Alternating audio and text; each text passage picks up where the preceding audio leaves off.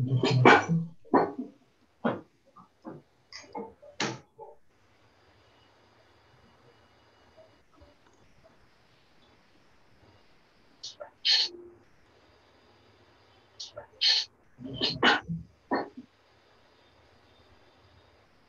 evening, everyone.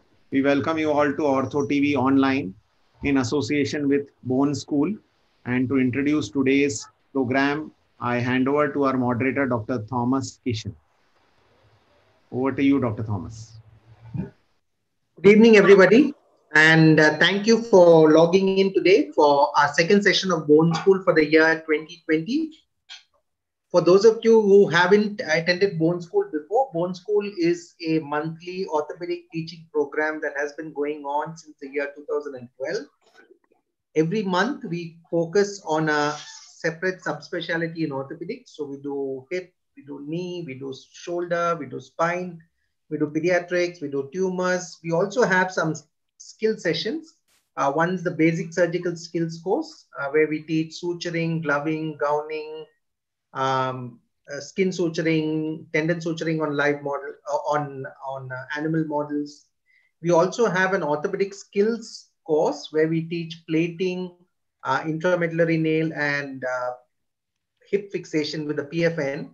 So those were the that was what we were doing before the uh, pre-COVID days. Now that we are in the COVID days, so we've switched over to the online platform. So instead of a full day session that we used to have before and what and a face-to-face session that we had before, we've switched over to a two-hour intense um, lecture session. So we have uh, illustrious faculty from across across India. I thank the faculty for taking their time off to be part of Bone School. So we have Dr. Hemant Kalyan. Dr. Hemant Kalyan is the head of the Department of uh, Orthopedics at Manipal Hospital, Bangalore.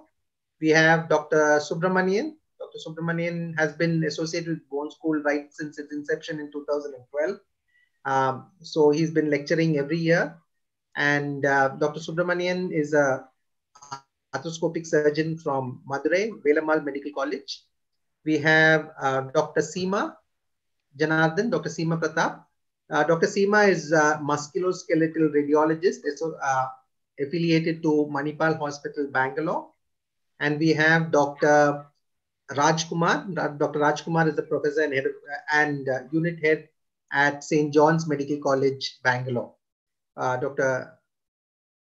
So at the onset, I'd like to thank all the faculty for taking their time off to be part of this uh, educational session and share knowledge. I also like to thank uh, Neeraj and Ashok from uh, Ortho TV uh, for their help with uh, broadcasting our educational series.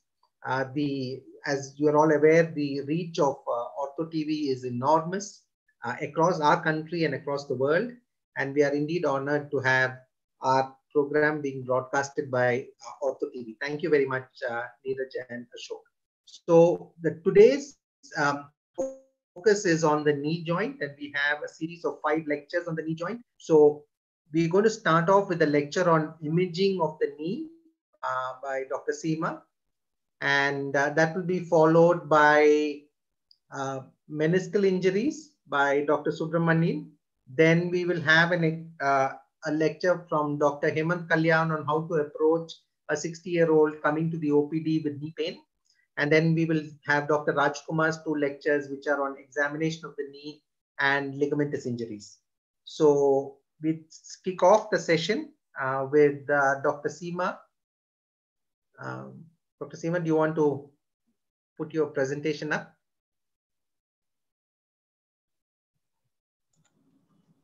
Thank you, Dr. Thomas. Uh, at the outset, I'd like to uh, thank you for giving me this opportunity to uh, present the session on imaging of the knee joint.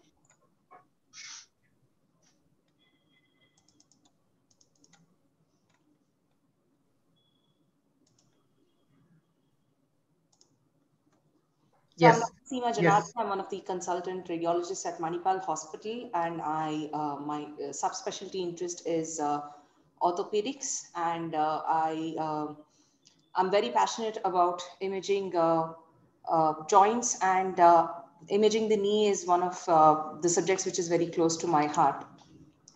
So it's a very important uh, joint of the body, which is a, a modified hinge joint formed together by femur, tibia, and patella. It actually provides a very uh, uh, complex movement, including flexion, extension, and rotatory movements. And because of its complexity, it is also the most frequently injured uh, regions of the body. So the knee structure is actually a very complex structure, although it is primarily consisting of uh, four bones. It is supported by multiple ligaments and uh, muscles, which provide structural as well as dynamic stability to the joint. Because of time constraints, I'm just going to mainly focus on the few main structures which support the knee joint.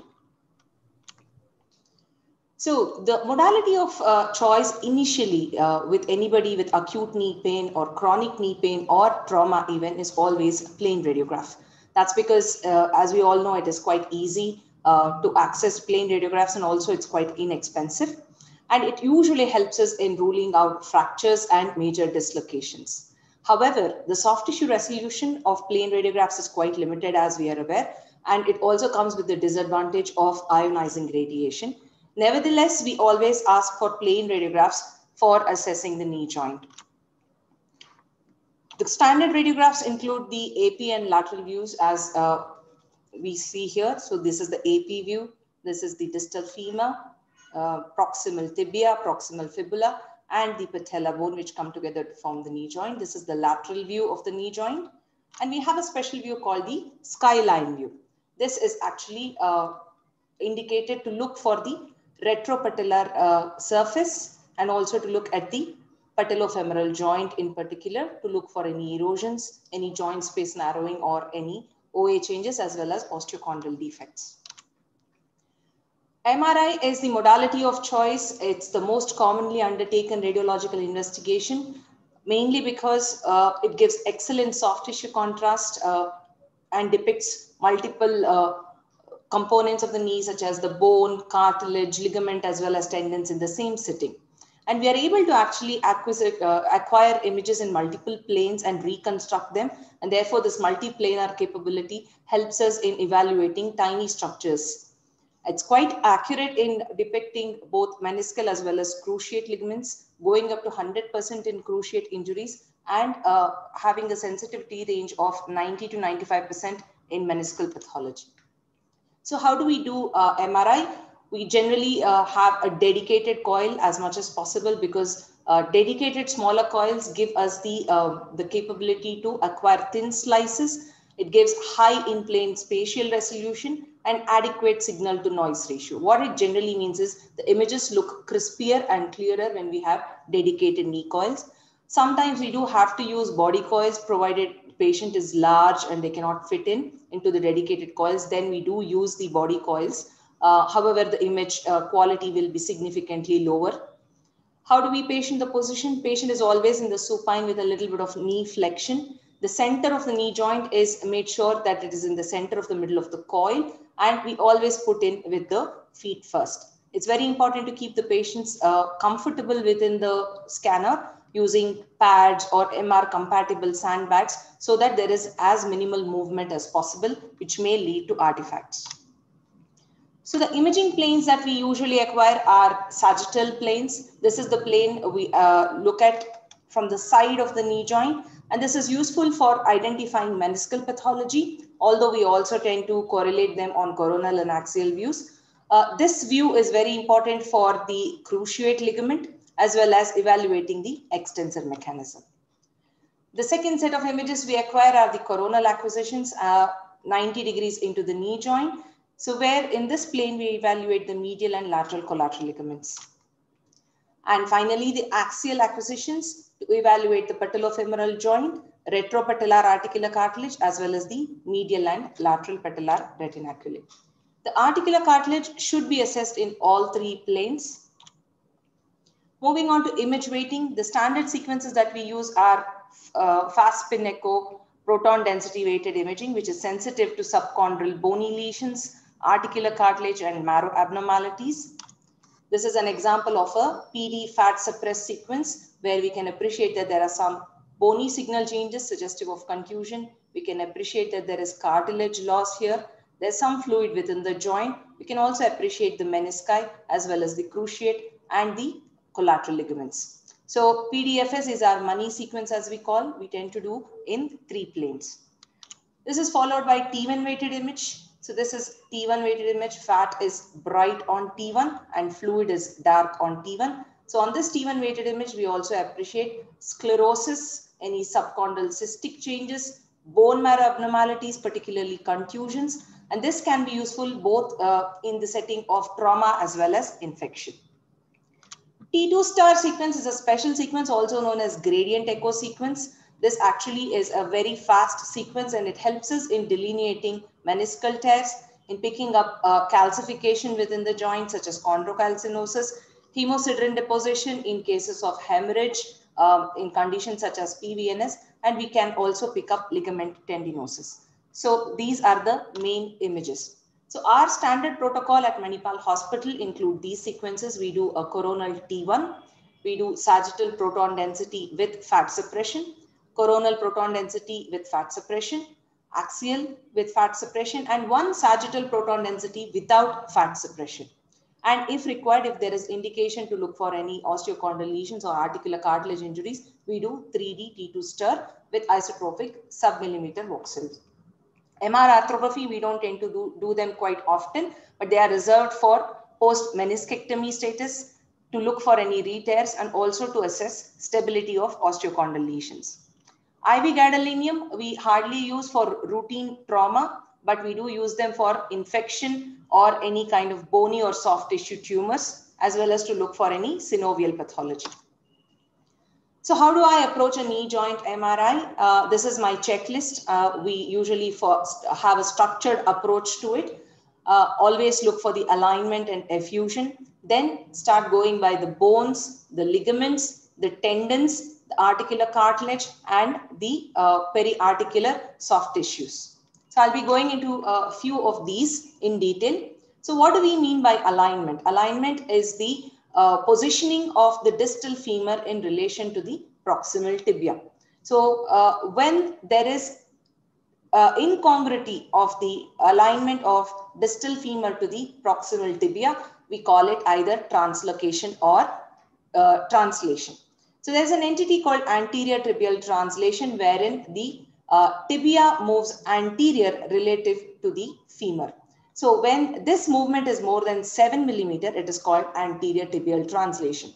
So how do we measure this on MRI is we look at the sagittal sequence at the level of the lateral femoral condyle, always at the lateral femoral condyle.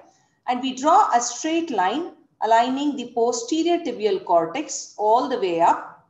And we draw another line along the posterior femoral cortex and the distance between these two lines has to be less than 5 millimeter. Some of the uh, latest papers say it can be okay up to 7 millimeter, but it is definitely abnormal if it is beyond 7 millimeter. So this anterior tibial translation actually occurs when there is complete rupture of anterior cruciate ligament. So when you see anterior tibial translation, one has to closely evaluate for ACL injuries. When there is posterior tibial translocation, there is posterior movement of the tibia in relation to the femur of more than 7 millimeter and these are associated with PCL tears.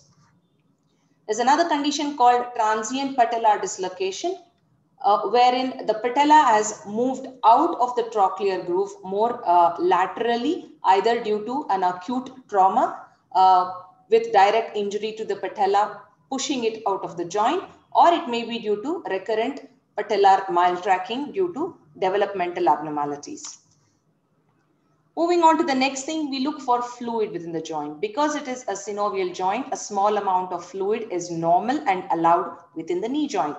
When do we call it an effusion? When there is more than usual amount of fluid, which is actually tracking upwards into the suprapatellar recess. Now this effusion can be a simple effusion, like in this case, we do not see any internal debris. This is a normal uh, plica. This is a small uh, th uh, synovial thickening that we are seeing here.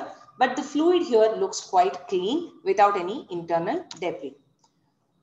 Look at this uh, image here. This is another patient with acute trauma road traffic accident.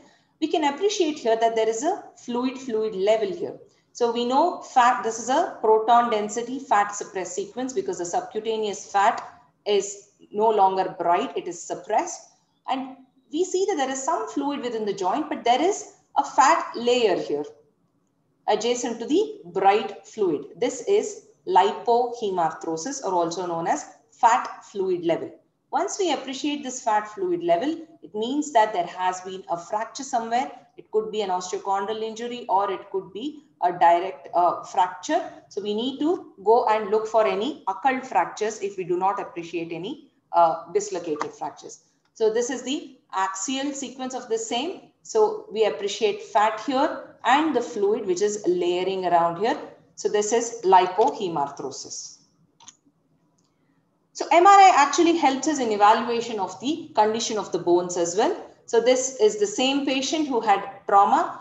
As we can see, there are some bright signal changes here within the bone with some cortical irregularity here. These are bone contusions. We can also appreciate some soft tissue injury here. And there is a defect here in the proximal fibula with a small chunk of bone being pulled off.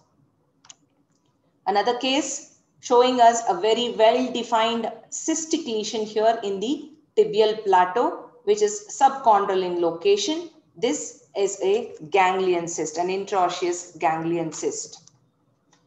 And this T1 weighted image here demonstrates a small lesion here on the lateral aspect of the medial femoral condyle, which demonstrates low signal and some cystic change here within. So this is an osteochondral lesion. So MRI helps us pick up all these conditions uh, in both acute and non, uh, uh, in both traumatic and non-traumatic settings. Moving on to the major ligaments of the uh, knee, the most important one is obviously the anterior cruciate ligament. It's a very important knee stabilizer. It prevents posterior sliding of the femur on uh, the tibia and prevents hyperextension of the knee and also limits medial rotation of the femur. It attaches from the posteromedial aspect of the lateral femoral condyle, extends inferiorly downwards and anteriorly to attach to the medial tibial plateau.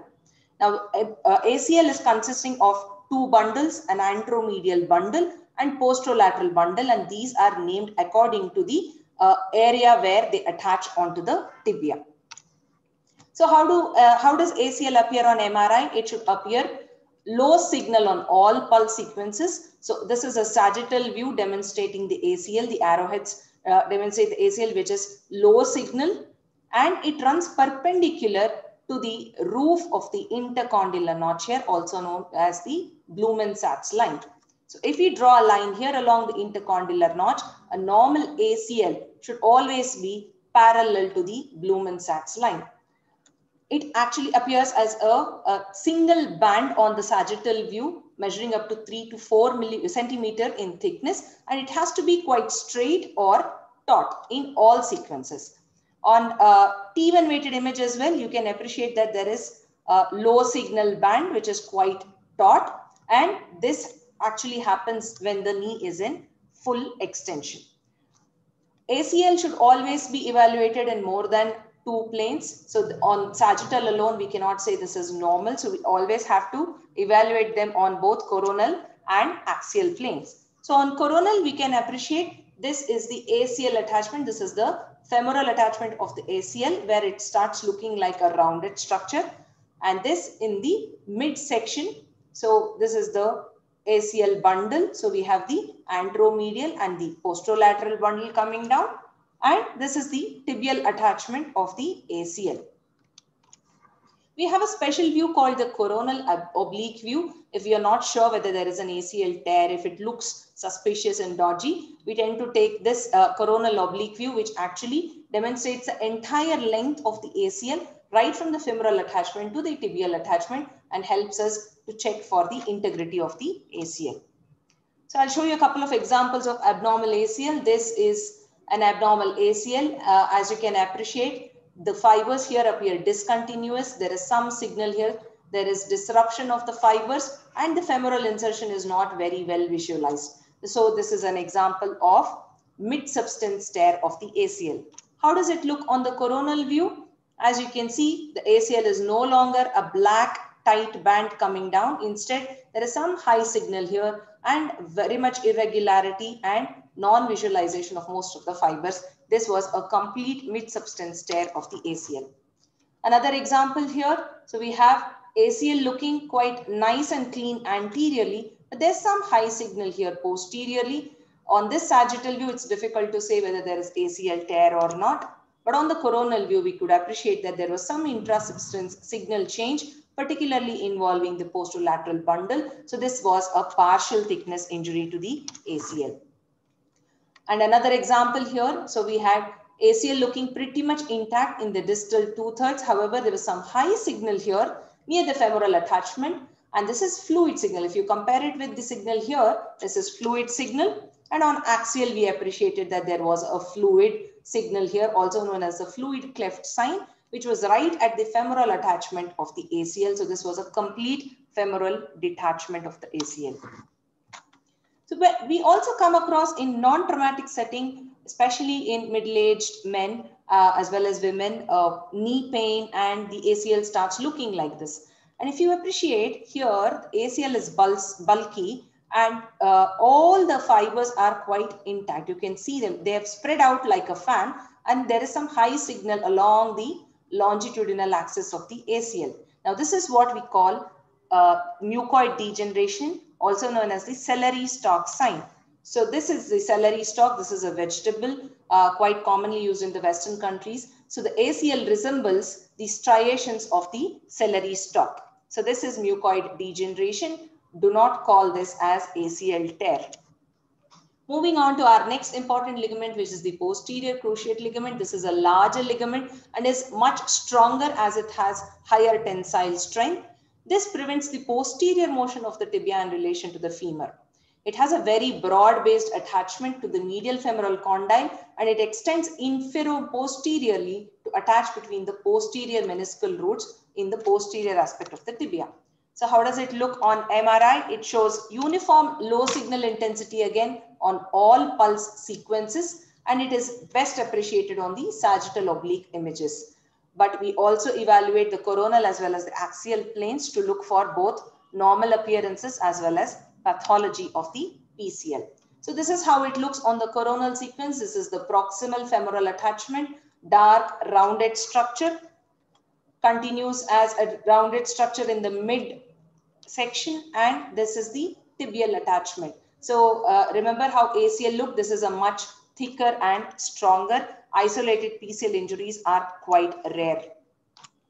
So a few examples. So as you can appreciate, the black signal is now lost and we have diffuse hyper intense signal on proton density sequence and we see that there is disruption of a few of the fibers. So this was a tear of the PCL.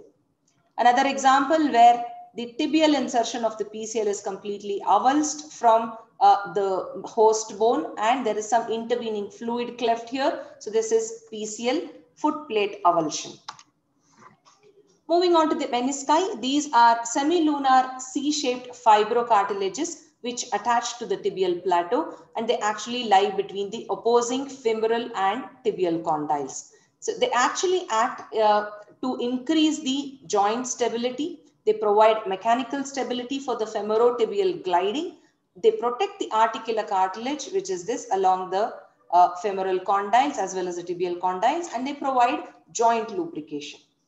Now we can appreciate these have very smooth and concave superior surfaces so that the femoral condyle can go and nicely sit in there and articulate. And uh, the peripheral aspects of the menisci are thicker as compared to the inner aspects. So this is an axial view. So you can appreciate that the peripheral aspect of the uh, menisci are thicker. And as one goes in, they start tapering down to form uh, thinner uh, inner components as they come towards the intercondylar notch. In adults, most of the meniscus is considered to be avascular except for the peripheral to uh, peripheral 25% where there is what we call the red zone where the blood supply is intact. So how do menisci appear on MRI? They again show very low signal intensity on all pulse sequences. They're approximately 3 to 5 millimeter in height, particularly in the periphery, and approximately one millimeter or less at the free edge. For uh, classification purposes, to uh, descri for description purposes, we divide them into anterior horn, mid third, which is also called as the body, and the posterior third. This is this applies to both medial and lateral menisci.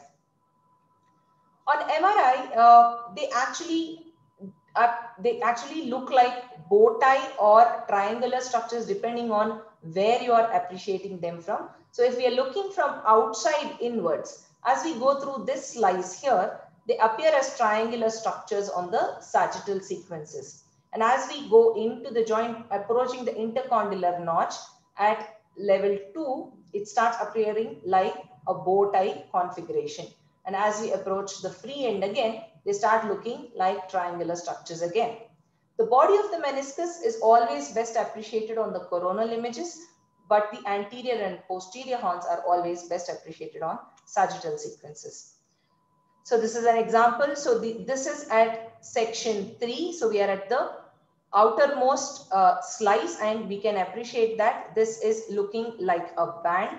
And as we start going inwards at the level of number two here, so we can appreciate that this is now looking like two triangular fragments. This is the anterior horn, this is the posterior horn, and sorry, this is the posterior horn almost close to the meniscal root. On the coronal sequences, this is the anterior horn, this is the body of the meniscus, this is the peripheral chunkier portion and the inner tapering portion, and this is the meniscal root dipping into the meniscus here. So moving on to some abnormal uh, cases. So in this sequence, you can appreciate that the anterior horn of the meniscus is black and nice triangular, but the posterior horn is now demonstrating some intra-substance signal abnormality. This is meniscal degeneration. The reason we call it degeneration and not a tear is because this signal is not seen to extend to either the superior or the inferior articular surface. Whereas in this case, you can appreciate a cleft which is extending from the inferior articular surface going all the way to the posterior surface here. This is an oblique tear, also known as a horizontal tear. Another similar case where a fluid cleft was seen extending from the inferior articular surface. But along with the uh, cleft, we also appreciate a small cyst. So this is an oblique tear with an associated parameniscal cyst. And in this example, we can see that there is a tear but this is now extending from the superior surface going all the way down to the inferior surface. Vertically, this is a vertical tear of the meniscus involving the posterior horn. Some other examples of tear. So this is another horizontal tear. Now this is also extending from the superior surface to the inferior surface, but it has also got a component which is going posteriorly and superiorly. So when the tear extends along more than two planes, it is called a complex tear as we can appreciate here, there is a horizontal component as well as a vertical component. And this is another example of a tear which is restricted to the root of the meniscus. So here the anterior root looks normal, whereas the posterior root demonstrates some irregularity on the corresponding coronal sequence demonstrate a fluid cleft at the root, posterior root of the meniscus. So this is a root tear another complex tear. Uh, but in this case, we also have fluid which is insinuating between the meniscal fragment as well as the bone. So this is an example of a meniscocapsular separation. And this is a very complex type of tear called as the bucket handle tear, where the meniscus, which is the medial meniscus in this case, has torn and part of the meniscus has flipped into the joint so now we are appreciating a segment, uh, a fragment of the meniscus within the intercondylar notch, which we should not see. So this is a bucket handle tear. This actually gives rise to a double PCL appearance. So this black structure we're seeing here is the PCL. So we're seeing another PCL adjacent to it. This is called the double PCL sign. And on the corresponding sagittal sequences, we can appreciate that the second PCL is actually continuing to become the meniscus and was found to be in contiguity with the anterior horn. This is the bucket handle tear of the meniscus. Medial collateral ligament is an important medial stabilizer. It resists external rotation and anterior forces. and it also acts as a secondary restraint to anterior tibial translation, particularly when ACL is torn or is deficient. It is approximately 8 to 11 millimeter long and it extends from the medial epicondyle from the medial femoral condyle to insert to the medial aspect of the tibia deep to the pes anserinus insertion. In the middle aspect, in the middle third, it is actually attached to the medial meniscus and is uh, known to have two layers, the deep layers and the superficial layer. Now the superficial layer is further subdivided into anterior as well as posterior fibers. So on MRI, we can see them best on the coronal MR. So these are the coronal sections and ideally they are evaluated on proton density fat suppressed or T2 weighted sequences and we correlate them with the axial sequences particularly in the trauma setting. Sagittal sequences are quite limited and we do not really appreciate them quite well. So on this coronal view, there is this black band extending from the medial femoral condyle all the way down to the tibial condyle. And it has got a few attachments to the meniscus here called as the meniscal fascicles. So this is the mid third. See how closely they are attached to the menisci here. And we can correlate them on axial sequences. On axial sequences, this is the femoral attachment. The ligament should look dark and uh, rounded with no intrasubstance signal. And this is the tibial attachment where it becomes a little bit remains low in signal. So this is a case where uh, uh, you can appreciate that the MCL is no longer normal. So we see that there is complete absence of the ligament fibers in this proximal half. And also there is some edema around the meniscus here. The fascicles are no longer appreciated. There is some uh, separation of the MCL from the meniscus itself. This was a complete tear of the medial collateral ligament. The distal half of the collateral ligament is still intact. I want to show this uh, image here. There is some high signal here between the meniscus and the medial collateral ligament. However, the rest of the ligament looks completely normal. This amount of small amount of fluid here is actually MCL bursa and this is a normal variant. So refrain from calling these tears, especially if there is no other hints of injury anywhere else. Moving on to the lateral collateral ligament, this is also known as the fibular collateral ligament and it is a very important posterolateral stabilizer and it prevents the knee against varus and external rotation. It is attached to the femoral lateral femoral condyle proximally and extends inferiorly to attach to the fibular collateral fibular head, which along with the uh, biceps femoris tendon forms what we call a conjoined tendon and therefore the conjoined insertion is onto the fibular, head. It's roughly about 5 to 7 uh, centimeter long and it's an extracapsular structure and it does not attach to the any meniscus. And this is how it looks on MRI as a black band extending from the femoral condyle all the way down to the fibular head. And this black structure here that we see is part of the biceps femoris and this is the conjoined tendon. It is best appreciated on the posterior coronal sequences and on the axial sequences, we can appreciate them as proximal, mid and distal LCL. They can also be uh, seen on the, sorry, so this is the proximal section, this is the mid section and the distal section of the LCL. They can, they, uh, this can also be appreciated on the sagittal view, like a bunny head appearance. So that we have the fibular collateral ligament pointed by the yellow arrow here. And this is the biceps femoris tendon. Together they form the conjoined tendon. We can see them very well on the sagittal sequences as well. And this is an example of an abnormal lateral collateral ligament. As we can see, the lateral collateral ligament is now wavy, saggy and demonstrates some abnormal signal. And there is uh, very high soft tissue edema here and also a defect in the fibular head. This was an avulsion injury to the lateral collateral ligament or type 3 sprain. Patellofemoral joint is an important joint formed by the patellar tendon and the, uh, sorry, uh, the patella bone and the trochlear groove. The patella is actually a sesamoid bone which is contained within the quadriceps tendon and it actually acts as a protector of the femoral articular surface. It also increases the efficiency of the quadriceps mechanism. So the articulation is between the patella here and the trochlear groove here the patellofemoral joint is actually uh, important, particularly during flexion and extension of the knee joint.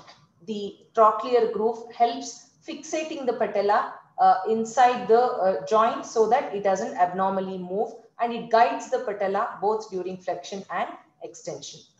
Now the patella is held by the quadriceps tendon here superiorly and the patellar tendon. They again should look low signal on all sequences.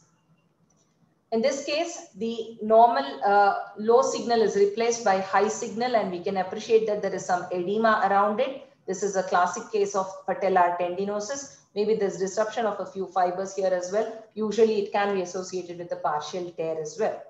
And on the right, we have complete disruption of the quadriceps tendon with fluid exudating between the tone, uh, tendon fibers and there is a large effusion. This is a case taken from Radiopaedia. Articular cartilage uh, should be evaluated on all sequences as I mentioned earlier. It actually facilitates friction-free joint movement. It helps in dissipation of the ventral forces which are induced during any weight-bearing uh, motion. And the articular cartilage is composed of a collagen matrix, which consists of chondroblasts, chondrocytes, glycosaminoglycans, and lipids. Articular cartilage is essentially avascular and it derives its nutrition from the synovial fluid. So now the signal characteristic of the articular cartilage varies with respect to the pulse sequence used. It usually appears intermediate signal on proton density sequences as we can see. Uh, and it looks uh, very good with contrast between the osseous as well as the intra-articular joint signal. So this is how the retropatellar cartilage uh, appears. So we have three to four millimeter thickness retropatellar cartilage and the retro uh, the trochlear groove uh, cartilage is roughly about two to three millimeter. Yes, Dr. Thomas. Yeah, we are almost at the last slide. Yeah. So just a couple of uh, slices, uh, slides showing some normal bursae around the joint. So this is an example of pes anserine bursa. And uh, this is an example, sorry, this is the pes anserine bursa where we can appreciate the pes anserine tendons and a fluid collection located deep to it. And this is an MCL bursa between the deep and the superficial fibers. So just to reiterate the standard approach for the knee uh, MRI, always follow the checklist, uh, looking for the alignment, bony as well as ligament and articular structures. That's the end of my talk.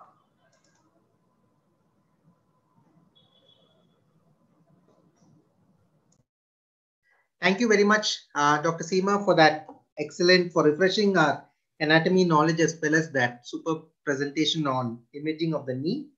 Uh, the couple of questions uh, before I go on to your questions, just want to let the audience know that if you have any questions to ask, you can WhatsApp it to me at double nine eight zero four double zero five eight.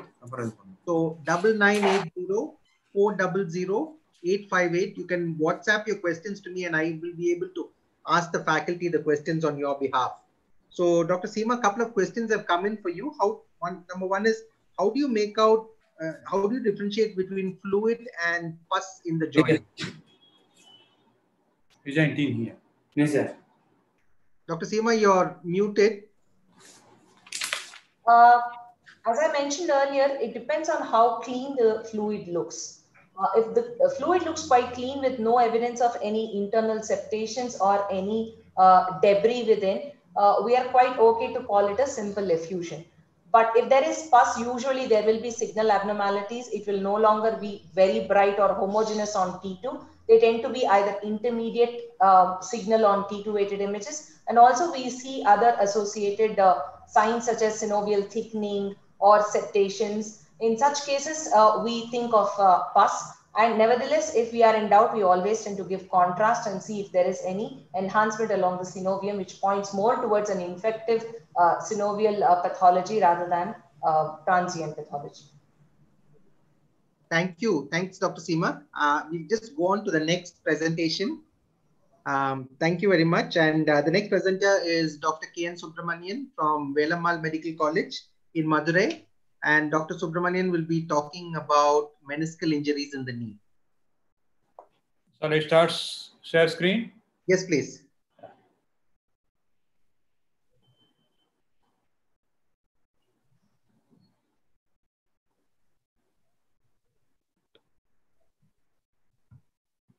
Can you see now? Yes, we can see it. We can see it. Thanks. Thank you. Uh, thank you, Thomas, for uh, uh, continuously organizing this Bone School program, which is a very useful program for uh, postgraduates. And uh, every year we have been doing, and this year I thought how you are going to do it, and you managed to do it by webinar, which is nice and good. Thank you very much. So my talk is on meniscus injuries. So are you all audible? Just confirm again. Yes, we can hear you. We can Okay. hear you clearly. Thank you. Fine, thank you.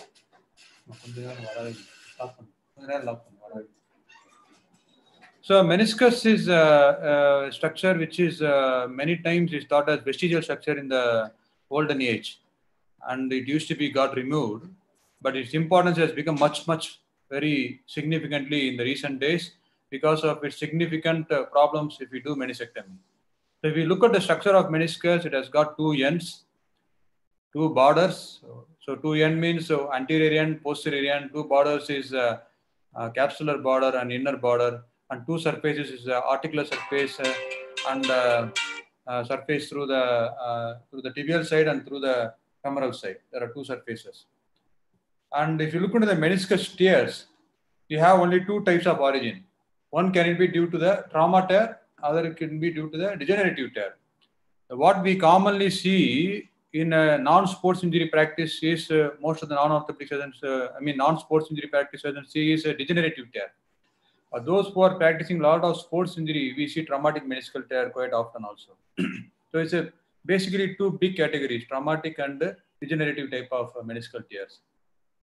So it's good to understand uh, some of the basic anatomy of the meniscus because uh, we have medial and lateral meniscus and uh, they are slightly different in configuration. We see the medial meniscus, this is almost like a C shape. In contrast to the lateral meniscus, this is that will be more like a, a circle. This is like a C shape, and there is an intercondylar eminence, eminence, okay, which is in the uh, the center of the tibia, in the joint surface, and uh, you have anterior horn that is anterior to the intercondylar eminence, and posterior horn is uh, just posterior to the intercondylar eminence. And if you look into the medial meniscus, it is well attached to the medial capsule here. So it's supposed to be a more stable structure in comparison to the lateral meniscus because it's attached to the medial capsule and there is also a strip of medial capsule, medial collateral ligament, which is deep MCL, gets attached to the meniscus also. So remember that medial meniscus is a very stable structure in compared to the lateral meniscus. And if you look into the lateral meniscus, see here, the shape of the lateral meniscus is like a circle in comparison to the medial meniscus, which is like a C shape. And uh, for the lateral meniscus, you have ligament of Wrisberg, ligament of Humphrey. Ligament of uh, Wrisberg is in the posterior aspect, ligament of Humphrey is in the anterior aspect. Otherwise, it is called as meniscofemoral ligament, which means meniscus gets attached to the femur through these uh, ligaments. So it is gets a firm uh, stabilization factor. These two are ligament. They both are get neglected many times, but these are very important stabilizing structures for uh, lateral meniscus, lat- ligament of Wrisberg, and ligament of Humphrey. So you look into the microscopy of the um, meniscus. Meniscus is made up of type 1 collagen fibers. Type 1 collagen fibers, the predominant composition of the meniscus, and there are some element of type 3 also, but majority of them are type 1. And if you look into the microscopic structure, they are made up of circumferential fibers, which goes from here as it goes throughout the C or throughout the circle. The circumferential fibers are there from anterior to posterior end, and there are also radial fibers, which goes from the peripheral end to the central end, like this in uh, multiple lattices. And there are also fibers crisscrossing these two together also. Uh, this is a, such a complex microscopic structure which uh, meniscus has got. Circumferential fibers are very important for the hoop stress. Radial fibers are important for, for the compressive forces. Okay. So you have to remember about the blood supply of the meniscus. All of us are born with a good blood supply to the meniscus when we are born. Okay, as a neonate or as a, as in the fetus, the meniscus is a fully vascular structure. But this vascularity of the meniscus starts becoming slower, slower, and gets reduced. And at the age of 10 or, or more than 10, the vascularity is almost uh, uh, gone up to about half of the meniscus. The vascularity is not there, half of the meniscus, the vascularity is there. around the age of 15 to 20, only the outer third of the meniscus is having vascularity. The remaining of the uh, meniscus will not have vascularity. So the nutrition for that part of the meniscus comes from the synovial fluid only. The peripheral part of meniscus gets uh, nutrition from the blood supply. The central part gets blood supply, gets the nutrition from the synovial fluid. So only about 2 to 3 mm of the peripheral meniscus will have very good blood supply. Hence, it is called as red red zone. And the one which has got a transient or transition zone is called red white zone, where there is half blood supply, half no blood supply, and the most central area has got no blood supply, and it's called white white zone. Remember this very important in terms of uh, treatment purpose. And there is one more on top of red zone, red white zone, and white white zone. It's called the capsular area, which is, which is marked over here. That can be seen as a number one. And that has got a highest blood supply. So some lesions occur over there. And it's very important to recognize these, uh, these uh, uh, lesions over there because they heal very well. If we, if we don't address it very well, then they will have problems as a consequence at a later stage.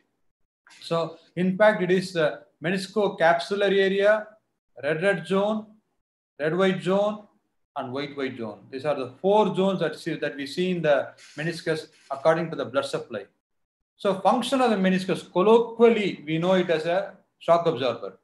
But if you see the load distribution, it increases contact surface and reduces contact stress. So somebody, if you think there is no meniscus at all, for example, somebody had meniscectomy, then the contact force is pointed at one particular place. If somebody has got who has got full meniscus intact, then the contact force is fully distributed circumferentially and is evenly distributed. So if somebody has medial meniscectomy, the contact stress increases by 100%. Lateral meniscectomy increases the force by 200 to 300%. Remember that meniscus is a very important structure. It is useful in distributing the load evenly. And it acts as a joint filler, compensating for the gross. There is incongruity between femur and tibia. If you see the femur, it has got a convex surface. Even the tibia, tibial plateau also has got a small convex surface only. So there is incongruity normally for both femur and tibia, which is managed by the meniscus. The meniscus, because of meniscus, it gets a congruity. And similarly, if there is no meniscus, the capsular structures will go and impinge. If there is meniscus, there, there won't be any impingement. So that is another function of the meniscus. And joint lubrication is distributed by synovial fluid. And uh, this meniscus helps in aiding the lubrication also.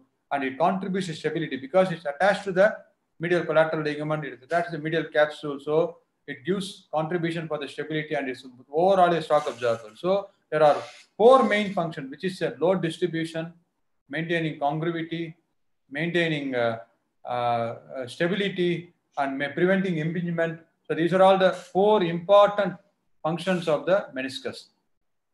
So how they get injured? Commonly, it's sports injury, road traffic accident, and an older age group, more than 40 year old. They can be simple twist fall. They can be joint pain, and the, most of the time it comes to ends up with a meniscus tear diagnosis. So what is the injury mechanism? How do they get injured for a medial meniscus, for a lateral meniscus? So for a medial meniscus, having forceful abduction and external rotation of tibia in a semi-flexed weight-bearing position. That's where the medial meniscus gets injured. Lateral meniscus, exactly similar mechanism, but forceful adduction and internal rotation of tibia. There is abduction, external rotation. Here is adduction, internal rotation in a semi-flexed weight-bearing knee. That's where the lateral meniscus or medial meniscus gets ruptured. So how do clinical examination for meniscus is when they have acute presentation, they are having pain, unable to continue a game when they are playing sports, and sometimes they are present with a locked knee. Locked knee is a pathognomonic sign for meniscus tear. Remember that locked knee means a bucket handle tear of a medial meniscus and it's a pathognomonic sign for a meniscus tear. And this is an acute presentation. They present with so the knee which they are not able to straighten fully and with a lot of knee effusion that is typical of uh, acute is acute meniscus tear. In a chronic presentation, they have like recurrent episode of clicking, locking, or giving away of the knee joint. And typically, because they are not using the knee very often, they will have quadriceps wasting, and they prefer to keep knee in five degree flexion because that that seems to be the comfortable position for the patient. And medial meniscus tear will have medial joint line tenderness. A lateral meniscus tear will have a lateral joint line tenderness. So this is a, a classical finding in majority of the patients coming in the meniscus tear and there can be associated OA also, but tenderness is more specific for medial meniscus tear. So how will you examine? So McMurray's test, apart from uh, routine examination, I'm just focusing on the meniscus tear examination, where we rely on the clini- clinical range of movement, looking for the joint line tenderness, and ask for the patient to do squatting and see whether they have pain. And if they have pain, then do for the McMurray test. McMurray test is classically described as fully flex the knee, do a valgus force and external rotation, and hold your finger on the joint line. So index finger has to be on the joint line uh, for the medial side, and the thumb will be on the joint line for the lateral side. And do external rotation valgus. And if there is pain on the medial side and clicking on the medial side, it is it is most of the time it is a medial meniscus tear. Similar observation if you do it on the lateral side by internal rotation and varus stress in full flexed knee, then it is called it is due to lateral meniscus tear. The squat test can be done with the internal and external rotated tibia, and it, it depends on where the pain is. If the pain is on the lateral side, it will be a lateral meniscus tear, and medial side it will be the medial meniscus tear. I'll just put a small video which is showing the how I examine it.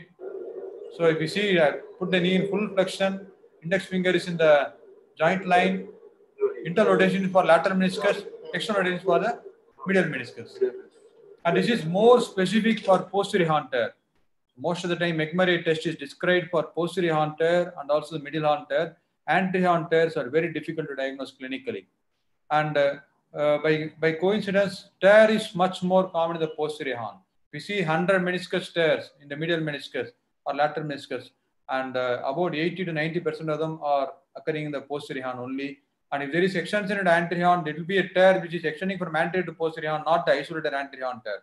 So you rarely see anterior tear. Posterior tears are the more common, and that's why the examination is done in the full flexion also. And the full flexion will reveal the uh, clinical findings for the uh, posterior tear only. So remember, MRI is the one of the more specific and sensitive investigation, and keep looking at the sagittal picture. And uh, there is change in signal over the meniscus area. This is almost like a flap tear which this patient has got, and uh, uh, that is significant for a meniscus tear. And if, as you know that in our textbook it mentions uh, various classification for a meniscus tear. In general, I would say you have to keep it like a longitudinal tear. Longitudinal tear means occurring more from the anterior to posterior end or posterior to anterior end. This is longitudinal tear. This is another longitudinal type of tear. This is bucket handle tear is actually longitudinal tear, but the uh, one part of the tear has flipped into the notch, hence it has become like a bucket handle. So it is very essentially a vertical longitudinal tear only. So longitudinal tear can be a bucket handle tear, posterior tear, or anterior tear, depending on the where the location is. Horizontal tear, otherwise called as a like a uh, tear like this, what you can see over here. This is like a horizontal tear. Sometimes can become a flap tear also, where a small horizontal fragment has flipped into the joint. It's called a flap tear. And also you can see a radial tear means it's going from the central peri central end to the peripheral end. And uh, parrot beak tear is uh, something like a oblique tear, which is going from the peripheral end to the central end to the peripheral end. So what you have to remember in this is uh, which are the tears that are more uh, amenable for repair, which are not amenable for repair, which I will come back to you in a, later on in my presentation. So non-operative management of meniscus tear, is it possible? Yes, the patient is totally asymptomatic after a meniscus tear, you don't need to do anything at all. There are quite a group, good group of patients, they will come with grade one, grade two tear, which will totally resolve with uh, just conservative management, which means grade one, grade two tears are not really the tears which are flipping and flopping, they are the kind of intrasubstance tears. Okay, so they don't need any surgical intervention at all. And even if meniscus need resection, try to do partial resection only, never do complete meniscectomy because it can lead on to early arthritis and at least try to preserve the rim of the meniscus. That is more important. So if we come to the treatment of meniscus tear in terms of surgical options, arthroscopy is a gold standard in diagnosing and treatment because MRI gives a guideline for you, but arthroscopy confirms the diagnosis and also you are able to visibly see and you can classify the tear pattern and you can do the treatment at the same time, whether it is resection or repair, you can do at the same time. So I think I have to focus more on the meniscus repair because it's a more of neglected topic in the uh, postgraduate level. I want to emphasize there are certain tears that are that need repair. Remember that we are not missing those tears, especially the tears that are in peripheral tear, which are smaller in length. And uh, meniscus tear with ACL tear, which means ACL reconstruction when you are doing it, there is a lot of bone marrow coming out of the into the joint, which helps for the as a substance that facilitates for meniscus repair healing. So when you have ACL tear and meniscus tear together, do meniscus repair, the chances of successful outcome is much more better. And longitudinal tear always heal better, and hence try to repair it. Like uh, oblique tear or radial tear will not heal very much. So peripheral tears will be in the red red zone. So now look into these three: root tear, ramp lesion, peripheral tear. These are the one which one needs repair, and the tear that are like radial tear, parrot beak tear, flap tear. These are all occurring in the white white zone. There is no point in repairing it because it will not heal. Hence, better to go into resection. I mean, you're doing resection, try to do limited meniscectomy rather than doing a uh, complete meniscectomy. So these are the indications for repair is root tear, ramp lesions, peripheral tear, an unstable tear less than one centimeter in diameter, uh, and acute tear associated ligament injury. These are the one which needs repair. I'll come in specific to three things, which are the root tears and ramp lesion. These are the very important one. What is root? Root means the attachment of the meniscus to the bone in the anteriorly and posteriorly. So this is the place it's called root. And roots are very important to keep the forces dissipated circumferentially in a even manner. That is very important. If the root tear is there, try to respect that and do correct treatment. Because if you don't do the root repair, the hoop stress mechanism will be totally disrupted. What is hoop stress? Hoop stress is nothing but normally when a force goes actually from proximal to distal end, the hoop stress tries to distribute it circumferentially in an equal manner. That is what is hoop stress is called. That is a, one of the major function of meniscus. And if the root, root is ruptured, this hoop stress mechanism will disappear. Hence, the patient will have extensive arthritis at a very early age. So as you can see here, there, the patient who has got a normal knee has got very low contact pressure. Somebody has got total meniscectomy, has got focal pressure. Similarly, root tear also has got a focal pressure. So these are the patients who will develop osteoarthritis very soon. So try to address patients who are having root tear in an appropriate manner. And how we do root tear treatment is by doing suture pull technique. So suture pull technique is by which you are trying to pass. This is the root. Are pa passing a suture through the meniscus root and make a drill hole through the tibia at the place of its attachment. Pass a loop and pull the suture material through that and tie it at the proximal tibia. That is the suture pull technique. And there is also another technique called uh, posteromedial portal technique, whereby you can actually go and suture the root from the posteromedial portal. So these are the two things that a postgraduate has to be aware of, that a root tear can be repaired by a suture pull through technique and the posteromedial portal technique. So these are the two ways by which you can uh, address a uh, root tear. So as you can see here, here this is the root tear where you have this meniscus which is pulled out from the bone, where you have freshened the bone and after doing the repair, that, that meniscus is kept in well approximation to the bone so that it will have a anatomical healing. So remember, the MRI finding in a root tear is because the most medial part or the most sagittal part where you will see normally the bones, the meniscus will be attached to the bone that will be missing. Hence it is called ghost sign. And when the root is missing, the meniscus will sublux and the meniscus lies over here. And there will be anything more than extrusion of 3 mm is called, is, is seen in root tear. So these are the two salient features of uh, somebody having a root tear. So for a root tear, who is having arthritis of grade 2 or less, then try to, if they are chronically non-repairable, age less than 45, then go and repair it. If age more than 45, if symptomatic, go on to meniscectomy. If they, if they have arthritis more than grade 3, then go for high tibial osteotomy. So what we are doing is trying to do the alignment correction surgery. Somebody has got grade 3 or grade 4 arthritis along with root tear. Root repair may not work because their biology is not normal.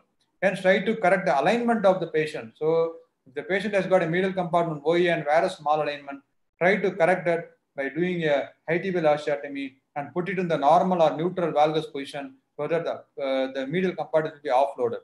So treatment pattern for root tear is grade 2 arthritis or less than that do repair in younger age group. An elderly individual who has got grade 2 or more than grade 2 arthritis then go and do meniscectomy plus HTO or just high tibial osteotomy. This is the treatment plan for a meniscus root tear. Next thing, I, I told something called ramp lesion. What are these ramp lesion? Ramp lesion by definition is a lesion occurring in the meniscocapsular junction. So this is the most vascular area in the meniscus. Here is the red zone, here is the red white zone, this is the white zone. But this area has got highest vascularity and the ramp lesion should not be missed because it's occurring most in the very interior compartment where you can even sometimes be difficult to see arthroscopically. You have to make sure sometimes you have to visualize in the posterior medial portal and see where how the ramp area is looking like. So this is the ramp lesion where you see the lesion over the meniscocapsular junction. This is the place where the root tears occur and this is the place where the peripheral tears occur. So these are the three things where you have to look for when you're doing arthroscopy because these are the one where you can go and do repair and the patient will do absolutely fine. So ramp lesion, root tear and acute peripheral tears are the one which needs repair. Remember this in the mind. So in a ramp lesion, you see this area is called fluid sign where the periphery of the meniscus near the junction of the capsule looks white or looks high signal, which means that attachment is disrupted and it's called fluid sign. If it is there, be look look for in the MRI very specifically, otherwise you will miss it. And sometimes you can even miss an arthroscopy also. You have to be vigilant in finding the ramp lesions all the time. So in this patient, see this patient had a ramp lesion uh, some six weeks ago when he came for uh, ACL reconstruction, which was done after two months. In fact, that uh, ramp lesion has healed automatically. So some ramp lesions which are very stable will heal automatically without doing anything because it has got a very good blood supply. But those which are more than one centimeter in size, it will not heal very well. You need to go into repair. Something like this, where it's a menisco. This is seen from the posterior medial portal, where the meniscocapsular junction is totally separated. If you miss that, it will never heal and they will have rotation laxity and the patient is going to have early osteoarthritis at, the, at an early age itself.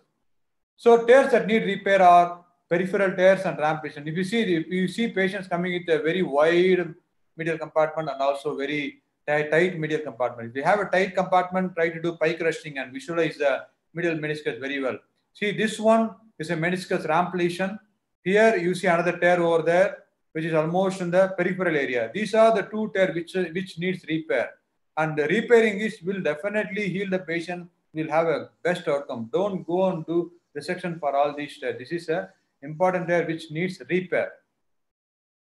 So how you repair this kind of, this is like doing all inside technique. It's called all inside repair technique. This patient has got a ramp lesion where I am repairing with a fast fix device where is all inside technique, you can actually pass a suture material from the meniscus to the capsule and withdraw it. There is a small cinch which gets flipped over on the capsular side and do it in the, this is called horizontal mattress. So you have to remember as a postgraduate, this is done by a technique called all inside repair technique. So an acute peripheral tear also, these are the tears where you see that if there is a blood over there, it means they are acute tear and they are the one which needs uh, repair and if they're present within three to six weeks, definitely have to go on to repair. You can see that this, this meniscus is totally floppy. This is best to do repair, do repair, they will heal very well without any problem. It's not like the other tear where you have a oblique tears and radial tear, it won't heal very well. Are, there are certain complex tears where you'll see like a double tear. Complex tear is the one which does not fit into any pattern. There will, there will be two elements, like horizontal component will be there, vertical component will be there. This patient has got a two tear, one tear in the periphery, one tear in the central area. Uh, these tears also you can actually repair the peripheral component and resect the central component so that at least you can preserve the majority of the meniscus very nicely.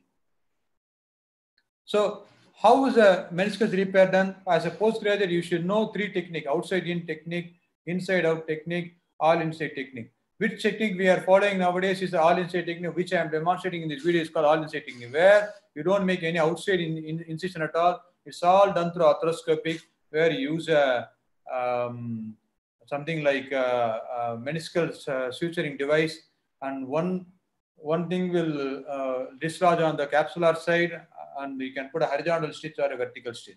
So this is the thing that you have to remember that uh, either a all inside technique, inside out technique, outside in technique. In this, what we are following nowadays is a all inside technique majority of them. How to encourage meniscus healing? Because we know meniscus has got a dubious vascularity. Some if it is in the periphery, then we know that it will heal. But if it is in the red white zone, still we can try to do with like fibrin clot, trephining of the synovial membrane, along with ligament reconstruction surgery. Like if you're doing ACL reconstruction, the chance of it healing is much higher. And injection of blood substitute like PRP, all these can encourage meniscus healing. So you have to remember that uh, uh, for meniscus healing, we can add additional things like uh, uh, um, uh, thrombogenic agents or clotogenic agent, which will really help out for bringing out new vascular, new vascular tissue over there and help our meniscus repair. So remember that there are substances which can encourage meniscus healing also. Don't repair a stable tear like the one that I showed you earlier, which is less than half centimeter, which is totally stable. Don't need to repair it, it will heal by itself. And totally degenerated or extruded meniscus with complex pattern, there's no point repairing it because it's not going to heal. Instead, you can go into resection. And somebody who has got diffuse chondral lesion, who has already got osteoarthritis, there's no point in repairing them. Go on to resection, they will be fine. Knee instability without ligament reconstruction, the uh, patient who has got instability, without ligament reconstruction, don't go, don't go on to repair. You have to do repairing a reconstruction of ligament also when you're doing a meniscus repair. So what is the incidence of OA when you have meniscectomy or meniscus repair? Excellent paper published in 2017, done from Boston. It is, uh, it is published in the Osteoarthritis Research Society International Journal, which has seen on 2,487 patients where they compared people who are having meniscectomy and meniscus repair. Meniscus repair patients have 50% lower risk of chance of having a OA in compared to the meniscus, meniscectomy patients. So meniscus repair is far, far better when compared to meniscectomy. When you can do menis meniscus repair, please do that because you are going to help the patient by reducing the incidence of osteoarthritis at a later stage. So post-op rehab for repair is avoid flexion for four weeks because we rehab, the repair has to heal. And for, so don't do aggressive movement, do avoid flexion for at least four weeks and do non-weight bearing for about six weeks. And uh, if there is associated ligament injury, try to put that also in your pattern of rehab so that uh, you try to do a productive weight bearing exercises for ligament injury plus uh, uh repairing uh, meniscus. At the same time, if you are doing a resection, there is no restriction of rehab. You can start doing exercises sooner because you want the range of movement and strengthening getting back sooner. This is a very important slide. Almost I put like a master slide for you, which is summarizing almost most of the salient points of the whole talk. Remember, meniscus tears are common.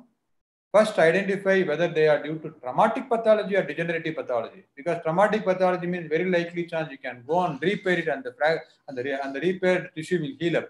Degenerative means the biology is not normal, hence it may not heal, it may need resection. So remember about the vascularity of the meniscus. In fetus, the meniscus, whole meniscus vascular. But after the age of 10, vascularity is slowly receding. And by the age of 15, only one third of meniscus, which is in the peripheral area, is vascular. So about 3 mm of meniscus will be vascular. Normal width of meniscus around 9 to 10 mm. 3 mm comes in the red red zone. 3 mm comes in the red white zone. Remaining 3 to 4 mm comes in the white white zone. Remember, function of meniscus is not just shock absorbent, it gives lubrication, attaining congruity, and also for contributing stability. Meniscus is made up of type 1 collagen. It has two types of fibers, circumferential fibers and radial fibers. Clinical symptoms, acute presentation can be locking and acute pain and swelling. In a chronic presentation, it can be a clicking, locking, and giving away. So remember, McMurray test is done flexion, external rotation, and valgus for medial meniscus. The same thing, flexion, internal rotation, varus is for the lateral meniscus. And normally what we are experiencing is patient experience pain over there. Occasionally you can also feel clicking of the joint line. So that uh, if the meniscus is flipping in and out, you'll see the clicking also. So locked knee means usually a bucket handle tear. Remember the exam question is locked knee. If somebody comes in, it's a bucket handle tear of medial meniscus. Please look into MRI properly to identify especially the tear that are ramp lesions, root tears, peripheral tear because the management pattern for these, these tears are different. So keep a second eye, double eye into the MRI to see whether you are missing any of these lesions or if it is just a oblique type of tear or a flap tear, then the treatment is different. So whatever MRI, arthroscopy is a gold standard for assessing meniscus because you can actually visibly see it. And repairing meniscus is, is a treatment of choice in acute lesion, which means acute lesion occurring within about three to six weeks time. Hence, the vascularity is uh, well preserved. And also in the peripheral tears, ramp lesions, root tears with less than grade 2 OA, you go into repair. Root tears with more than grade 2 OA needs high tibial osteotomy or unicompartment knee replacement. Meniscectomy versus meniscus repair has high incidence of osteoarthritis in a patient who is having meniscectomy. So try to avoid meniscectomy if possible. Stable acute tears of less than 1 centimeter may not need repair at all because they are stable by inherently rehab productively, productively if you do repair for a period of four to six weeks. And if, if, if resection is done, do ROM and strengthening exercise immediately. So this is a small algorithm. You can keep it with you. Okay, for a meniscus tear, which is in the red white zone, try to repair in a younger patient. White white zone, do meniscectomy. In a red red zone, try to do repair. Even if the patient is a less than 60 year old, if, they are asymptomatic, just do physiotherapy without any uh, surgical intervention. This is the general outline for meniscus uh, injuries. Thank you very much. Thomas, thank you very much.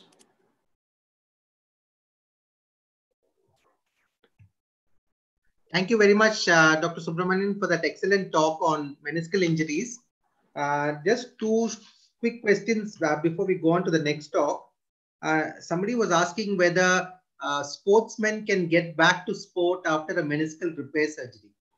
Yes, yeah, yeah. Um, uh, they totally depends on you know isolated meniscal tear is less common in a sportsman usually you will see a patient coming with a meniscus tear plus a ligament injury also so you are having two combination and if they are having a correct tear like peripheral tear and if you have done repair and if it heals well absolutely fine they should be able to go back to sports without any problem if there is no associated injury and if it is only that ligament and that meniscus and they almost get back to the normal life and they can go to the good level of sports. I mean, I am saying like almost like a normal level of sport, what they were doing before. It is possible. Yes. One more question. Hmm. Any maneuver for safely reducing a locked knee? Is there any uh, maneuver to reduce a lock? Uh, you know, uh, essentially, uh, there is no described maneuver as such. Okay. But the patient has to be in full relaxation, first of all which means uh, you may not be able to do achieve all these things in the emergency setting. You can try, don't try to push too hard because the patient becomes much more painful. Okay, you can just need what do you need is relaxation. If there is a good relaxation, sometimes there is need, the meniscus will flip into the Uh, area as easily. What is important to see in the arthroscopy, there is a maneuver. What we try to do is we use a, a trocar or a Wissinger rod to hold the meniscus together and try to do some valgus stress if it is a medial meniscus and try to put it back. And what is important is see whether it, we are able to keep it in reduced position without any tension. That has to be very important. If, if it is reducible without any tension and it stays there comfortably, then you can go on to repair. If it is flipping in and out, even after reducing, which means you're prolapsing easily, and they are not ideal candidate for repair, and you have to go on to resection. So this is there are two things. Intraoperative maneuver is there. Okay. Thank you, uh, Dr. Subramanian. Just for lack of time, I think we'll just go on to the next talk. Uh, I request Dr. Hemant Kalyan to give his lecture on uh, approach to a 60-year-old uh, person coming with uh, knee pain to the OPD. Dr. Thank Hemant you. Kalyan. Thank, thank you, Thomas. Thank you. Thank you, sir. Thank you, Thomas. Thank you, sir.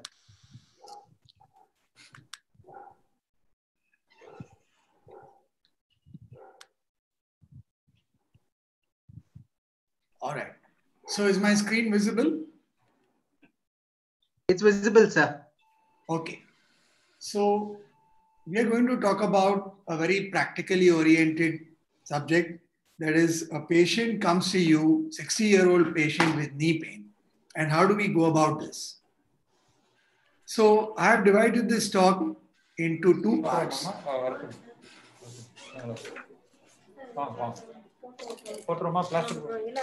At the age of 60, definitely the focus is going to be osteoarthritis. Actually,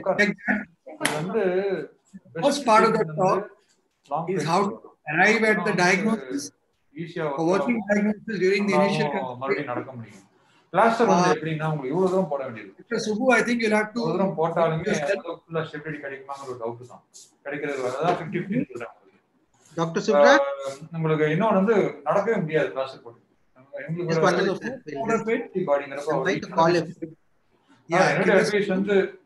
So the first part of the presentation is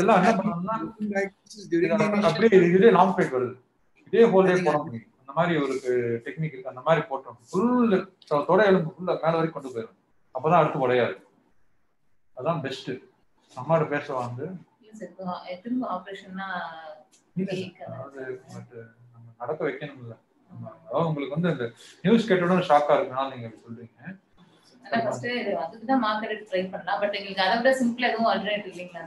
அதை விட இல்ல அதை விட alternative work out ஆகாது. Last போடுறேன் நான் but வந்து இது வந்து ஃபிஃப்டி ஃபிஃப்டி தான் ஒர்க் அவுட் ஆகும் போட்டு விடுறேன் இல்ல இப்ப விலகல்ல ஆனா விலகுறதுக்கு வாய்ப்பு உண்டு. விலகிடும் விலகுறதுக்கு வாய்ப்பு உண்டு. வாய்ப்பு உண்டு. அதாவது ஃபிராக்சர் ஆயிருக்கு பட் அங்கேயே தான் இருக்கு. விலகுல வாய்ப்பு இருக்கு. ரெண்டுமே இருக்கு. பட் இப்ப நம்ம இப்ப நான் பிளான் சொல்லிடுறேன். ரெண்டு வாரம் ட்ரை பண்ணட்டும். எப்படி இருக்குன்னு பார்க்கலாம். அவங்க நல்லா இருக்காங்க. அப்படியே பெட் ரெஸ்ட் தான் இருக்கும் ஃபுல்லா. ரொம்ப எங்கேயும் போக முடியாது. அப்படியே ட்ரை பண்ண முடியுதுன்னா ட்ரை பண்ணிட்டே இருக்கட்டும். அவங்களால முடியலன்னா வாங்க. நான் உங்களுக்கு வந்து இந்த பிளேட் மாத்தி தரேன். இன்னும் அந்த இன்சூரன்ஸ் எதுவும் அம்மாவுக்கு போடவே இல்லை. சார் இந்த டைம்ல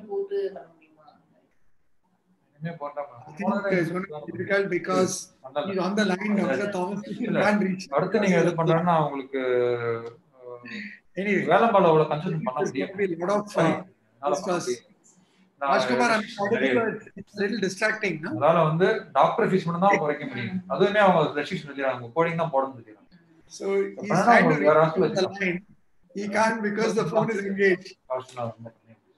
ஆபரேஷன் அதான் பண்ண அதான் ஈஸி காஸ்ட் ரொம்ப கம்மியா பண்ணி தரோம்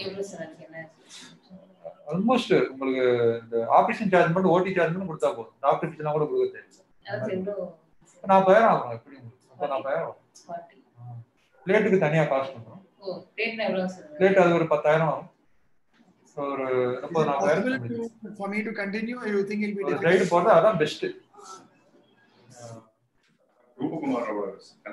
ஆமா இங்க இருக்கு. அவர் வச்சிட்டு போயிட்டார். ஆ ஓகே நார்மலா இந்த பிளேட் வந்து அவ்வளவுதான் சார்? பிளேட்ல நிறைய பிளேட் இருக்கு. அதாவது ஜிம்பர் பிளேட் ஒன்று இருக்கு. அந்த பிளேட் அறுபதாயிரம் சொல்லுவாங்க பிளேட் மட்டும் அறுபதாயிரம் இது வந்து நல்ல பிளேட் தான் போட்டிருக்கு. எனக்கு எவ்வளவு காசு ஞாபகம் நல்ல பிளேட் தான் போட்டிருக்கு. பிளேட் இதுக்கு சம்மந்தம் கிடையாது. லென்த் ஓகே ஓகே ஃபர்ஸ்ட் வீக்கா இருந்து தெரிஞ்சிருந்தா அப்படியே ஃபுல்லா இல்ல போன் குவாலிட்டி ரொம்ப bad ஆ இருக்கு. அதான் sir, அதான் முன்னாடி கொஞ்சம் வீக்கா இருந்து தெரிஞ்சிருந்தா ஃபுல்லாவே இல்ல இல்ல அது அப்படி சொல்ல முடியாது. அப்படி நம்ம மாதிரி அப்படி பார்த்தா இவ்வளவு தூரம் கிழிக்கணும். அவ்வளவு தூரம் கிழிக்கணும். இல்ல இந்த மாதிரி யாராவது பத்து பேர்ல யாராவது ஒருத்தர் இருக்கான் அப்படிங்கிறப்போ அந்த ஒருத்தர் இவங்க நினைச்சு ஃபுல்லா கிழிச்சோம்னா பெரிய பிளேட் போட்டாங்கன்னா தேவையில்லாம நிறைய. Sorry, I'm unable எல்லாருக்கும் to இந்த மாதிரி ஆறுது கிடையாது listen, I sir. know, I know. And I'm not But able Thomas, to get because the problem Yeah, is that he's on the line. மாத்துறதை விட இப்ப அதுவும் That's why you But, uh, can't reach it because the phone is engaged. Yeah, Other I'm alternative. not getting through to Neeraj. இன்னும் உங்களுக்கு Ah, இது- okay. அதான் அதான் best alternative So because the thing is that I don't think it will be. Cost கம்மியா பண்ண முடியும்னா அது பண்ண சரி, பண்ணி தர முடியும் இல்ல இப்ப நீங்க அது okay Hello? Two consultations going on at the same time. Neeraj, can you mute? இப்ப- Uh, இப்ப அது- இப்ப பண்ணி தான் ஆகணும் இப்ப வேற வழி இல்ல Because வந்து the program ஆமா. director is டிஸ்கஸ்னா problem Yeah, done done sir. Is muted. Okay done done. Okay yeah. great. Sure. so hello everybody. I am dr hemant kalyan and uh, the subject for me is how to approach a 60 year old patient walking into your opd with knee pain. Now the first thing that comes to your mind in 60 year old is osteoarthritis and our focus is going to be on osteoarthritis. There's going to be two parts to this presentation. In the first part, we look at how to arrive at a working diagnosis during the initial consultation. And the second part of the talk, we look at what works and what doesn't work in knee osteoarthritis and what is the evidence. So, what about the first step, arriving at a working diagnosis? Now, the main thing is the history, and at 70% of cases, we'll find that the working diagnosis alone. Wait a minute. So 70% of the times, the diagnosis can be made just on the basis of history, and the physical examination and investigations help in that regard. The first thing you need to know is the ODP of the problem, number of joints affected, what is the type of pain, and the past history. So if you find there's a patient who comes to you with a short course with an acute history, think of an inflammatory or an infective cause. If it's an acute on chronic situation, then think of a situation like an acute chondral injury or an acute meniscal injury super added to osteoarthritis and if it's a typical grafted joint disease. Usually, osteoarthritis of the knees is a bilateral condition, so you can get them sometimes unilateral,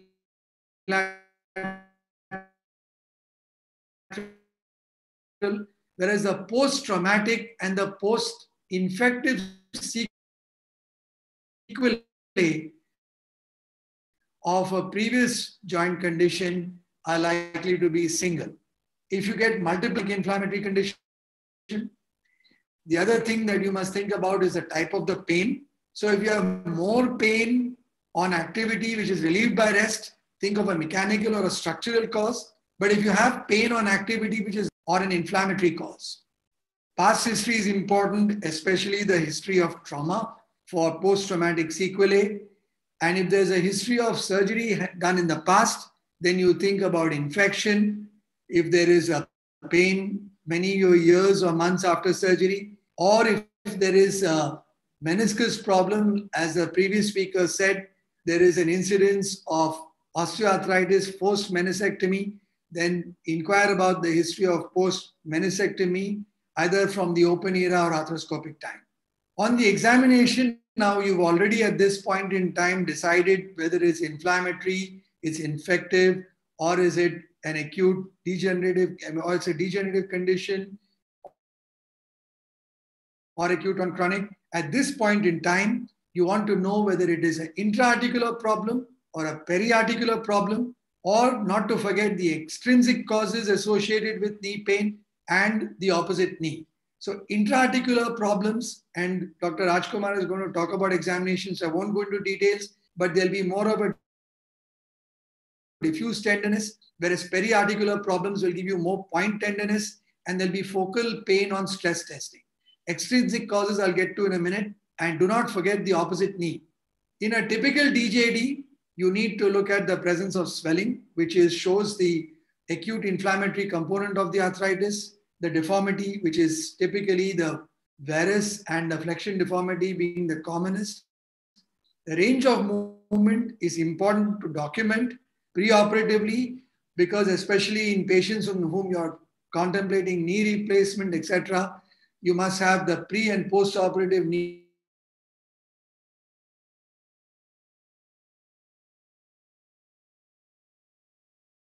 meniscal tears whether they are significant or not, we'll come to. And diagnosis, again, uh, has been described by the previous speaker. And the stability of the joint is important to know with post-operative persistent knee pain who come to you after TKR, may at the time of TKR. The common causes of periarticular knee pain anteriorly are the prepatellar bursitis and patellofemoral syndromes. Medially, If you have pain below the knee, joint disease, posteriorly, never forget to look at the back of the joint and look for popliteal cysts and other conditions like sometimes an aneurysm. Laterally, IT band syndrome, as well as the lateral collateral ligament insufficiencies. So every knee pain at the age of 60 is not osteoarthritis, and they deserve an evaluation of the periarticular structures in every case. Very important is not to get tripped up by extrinsic causes. And extrinsic causes you must suspect if you get a normal knee examination and your typical uh, provocative tests for the knee do not aggravate the pain. So the most important is the spine and you can get tripped up by lumbar disc problems, especially the higher lumbar disc, L1, L2, L2, L3 can uh, definitely present with knee pain. And we've had cases like that. Spondylolisthesis can be a cause of posterior knee pain and buttock pain. And lumbar canal stenosis with neurological claudication can confuse you. And in all cases, when you're planning especially replacements, you've got to make sure that the spine is not the predominant cause. Occasionally, you can get sacroiliac joint pain as well. And then, of course, there is the important hip knee syndrome, And it is very typical for osteoarthritis of the knee, or in our countries, the avascular necrosis presenting primarily as knee pain. And it is very embarrassing to do a knee replacement first when the patient's actual problem is a hip. And if that's found out by another surgeon, it's extremely embarrassing and not good for the patient. So hip evaluation must be done in every case of knee. And if it's been operated, the common cause is a varus stem either after a THR or after a hemiarthroplasty. Now, radiological grading has been dealt with by Dr. Seema, and I would only mention it to say that very often the radiological grade does not necessarily correlate with the clinical severity. And in planning your treatment, you need to look at the clinical picture first because the patient's complaints is what's going to drive your treatment and the examination findings and x-ray findings and MRI findings are only corroborative to this. So now we look at the second part of the talk, which is the evidence of what works and when, when you're treating knee osteoarthritis. So in this, I'm going to consider six different case scenarios. The first case scenario is a patient who has mild symptoms with early osteoarthritis seen on the x-ray. Very common condition seen in the 60 year old. And this is typically a situation in which you would prefer non pharmacological interventions, educating the patient about the disease, lifestyle modification, exercises, braces, and insoles. But what is the evidence for all this? So, there is a very nice systematic uh, literature of uh, literature review which has been done by these authors uh, which was published in 2016. They looked at as many as 13 RCTs and eight recommendations, and they found that in all cases, education, exercise, and weight loss are the pillars of non pharmacological treatments. And the problem with this is that even though they are effective, it involves changes in the patient's behavioral patterns, which are difficult to obtain and then difficult to sustain. So it is effective but difficult to sustain. Most of the guidelines which focus on non pharmacological treatment will include exercise, but personalizing them and involvement of a physiotherapist to remind the patient on a periodic basis is a useful tool. What about weight loss? We all talk about it. Where's the evidence? So here is a nice paper telling us about the evidence of weight loss. And they found that in obese adults, 5% reduction in body weight will produce significant relief of joint pain. And if 10% or more reduction of body weight is associated with clinically significant large improvements in pain, which is sustained. So, this is a well proven thing. Weight loss works. In the morbidly obese in whom you're doing bariatric surgery, uh, once again, the studies have found that the WOMAC knee scores actually decrease by 45 by 50% plus in terms of pain reduction, and the knee society pain score reduces by 1 5 15%, and the function in the knee also reduces, I mean, improves by 15%. So there is a significant improvement here. And one study actually found that the joint space widens after bariatric surgery when there is a significant weight loss. So that's an important evidence based uh, support in favor of weight loss and in morbidly obese for bariatric surgery. Insoles are useful in selected cases to unload the knee, especially in the hyperpronated foot and the oversupinated foot you may give corrective insoles, but this, remember, is a corroborative treatment. What about pharmacotherapy? Now, we all know that the NSAIDs are the most commonly prescribed drugs in the world, but are they safe? In terms of the safety profile, the topical NSAIDs are the safest, followed by paracetamol, which up to 4 grams a day is a safe dose to give, but you have to use with caution in patients with hepatic insufficiency the selective COX2 inhibitors, which came into vogue about 15 years ago, are widely used, but these have cardiac side effects, and some of them have actually been banned because of that. And the conventional NSAIDs are definitely the ones with the most side effects on prolonged usage, and especially we have to use with great caution in people with gastric and renal problems. The efficacy is exactly the opposite of the safety, and there's no doubt that NSAIDs are the most effective tools in treating uh, osteoarthritis, followed by paracetamol, followed by NSAIDs, topical NSAIDs. This has been shown by a Lancet uh, article in which they studied several thousand people and they found that diclofenac 150 milligrams per day is the most effective NSAID in treating osteoarthritis, but the guideline is to treat it for not more than 7 to 10 days with diclofenac in the acute phase. Paracetamol for OA knee in the dose of 4 grams per day has been studied in an extensive Cochrane review, which involved more than 6,000 patients.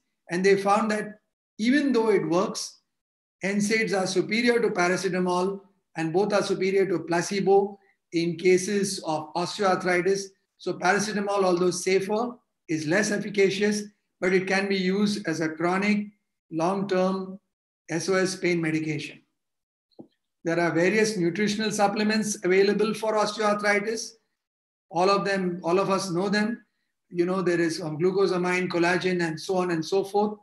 The evidence to support them is very scanty, and there is no solid evidence which supports them in their long-term use. They could be considered mainly as a placebo. Now let us take another scenario where the symptoms are moderate and there is a moderate X-ray situation of osteoarthritis.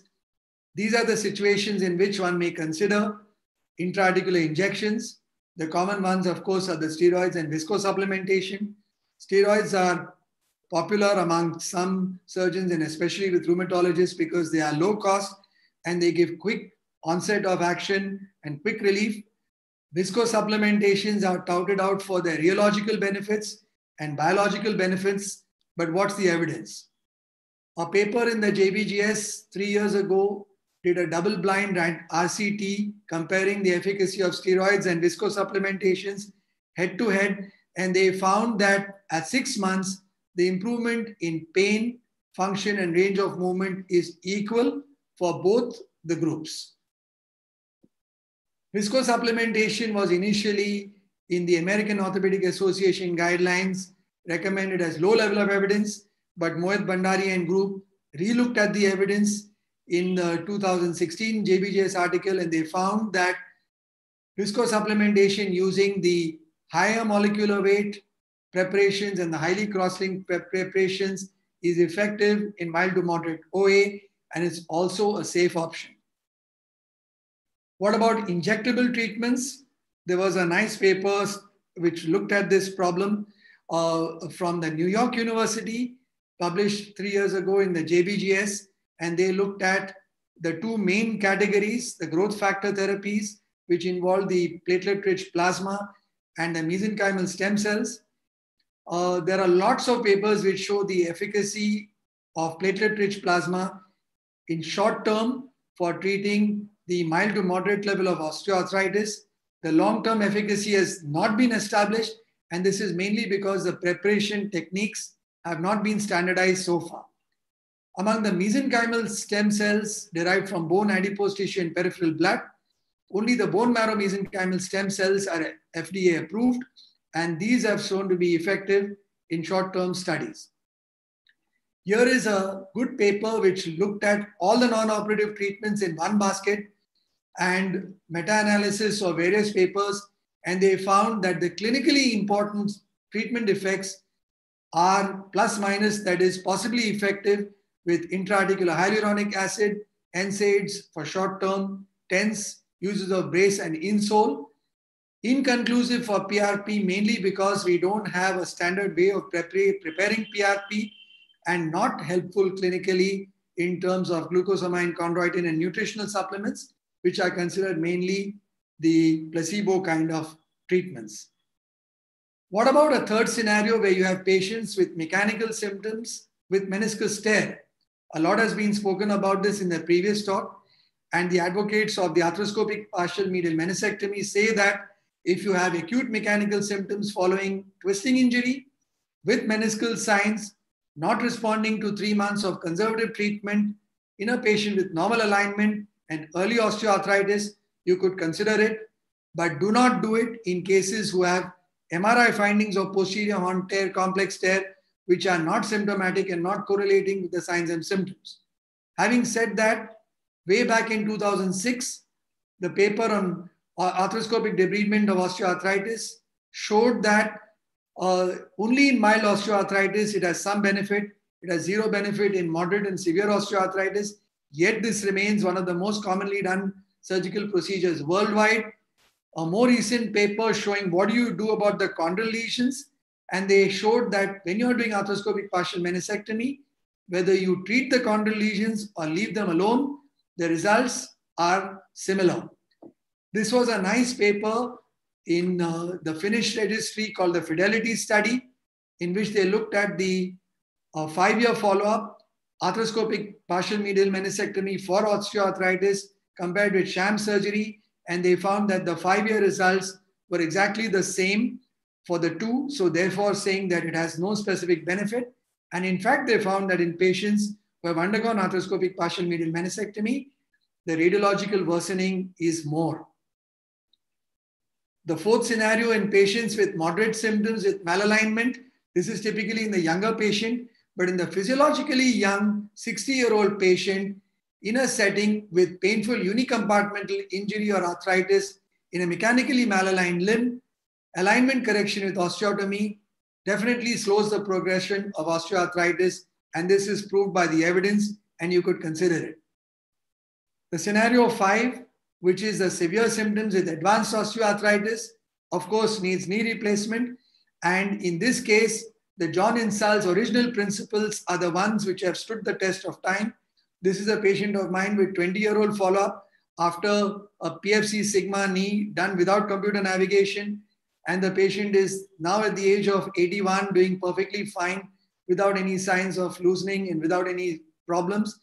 And the various types of the newer implants like the gender specific implants, uh, mobile bearing implants, high flexion implants, newer bearing surfaces, etc. None of them have shown by conclusive evidence that they are clinically superior in terms of longevity than or well done. So basically, what you need to do is take care of the alignment, the balancing, and the good cementing technique.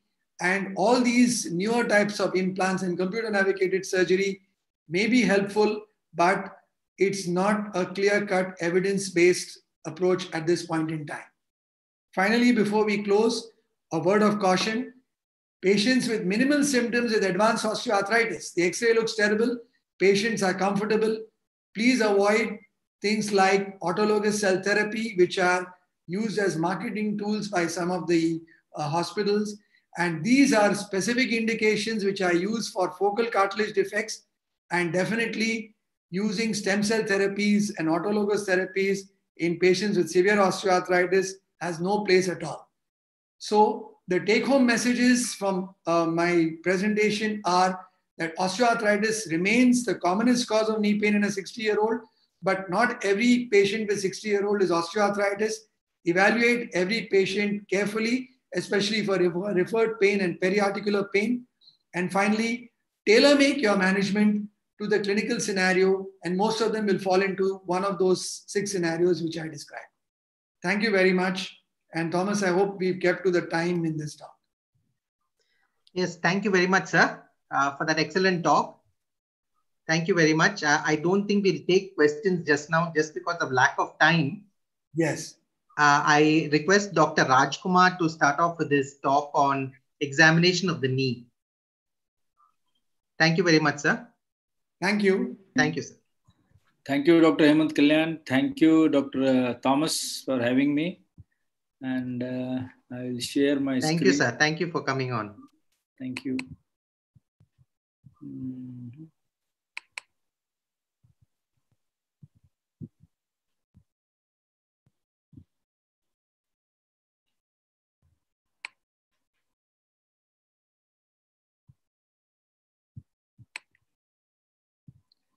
Okay, can you see my screen?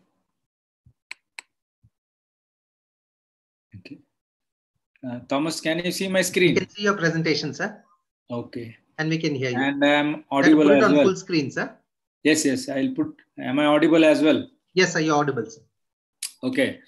Uh, thank you. And I am sure uh, Thomas uh, would have, uh, you know, really arranged this for all the postgraduates of the state and across the state. Am I right, Thomas? Hello? Yes, sir. Yes, sir. We can hear you, sir. The postgraduates are from first year, second year, final year, or all the postgraduates? All postgraduates, we have people across the country and overseas also, sir. Overseas, oh boy. Yeah. Okay. So without wasting much time. Okay. The cornerstone of any knee examination is trying to understand the patient. Okay. If you don't know what you're dealing with, you will really miss out.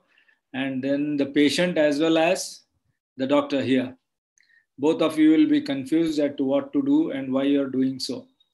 Knee is a fantastic joint. Uh, basically, it has got rotatory movement as well as translatory movement. And a knee assessment of the knee is uh, in relation to the endpoint compliance that we need to uh, knee uh, need to see. So, what does the story of uh, each knee is? The story of each knee is similar to in most of the patients. The knee is going to tell you that it has got pain, but only thing is you have to ascertain whether the pain is coming from the knee.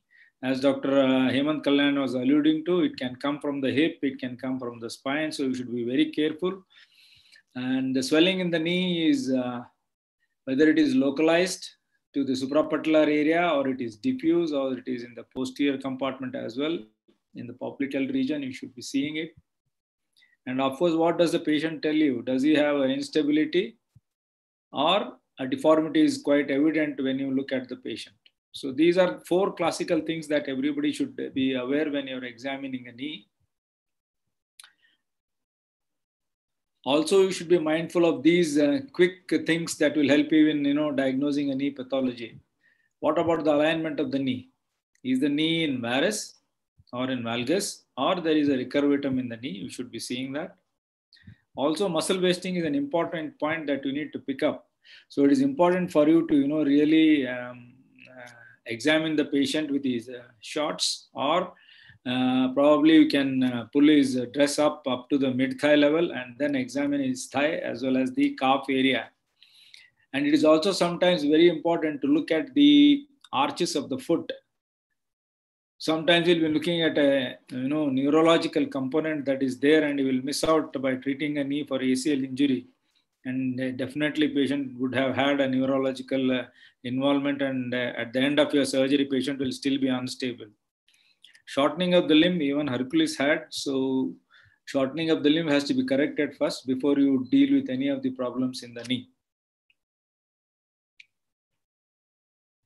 So there are certain things that you need to palpate the area of the quadriceps especially the vastus medialis the um, vastus rectus and the vastus lateralis you should palpate all the corners of the patella you should be able to palpate if it is an acute setting, especially the tenderness at the medial border of the patella, you should be looking at if it is a traumatic uh, um, cause for pain in the knee because uh, the medial patellofemoral ligament generally avulses from the medial side of the patella.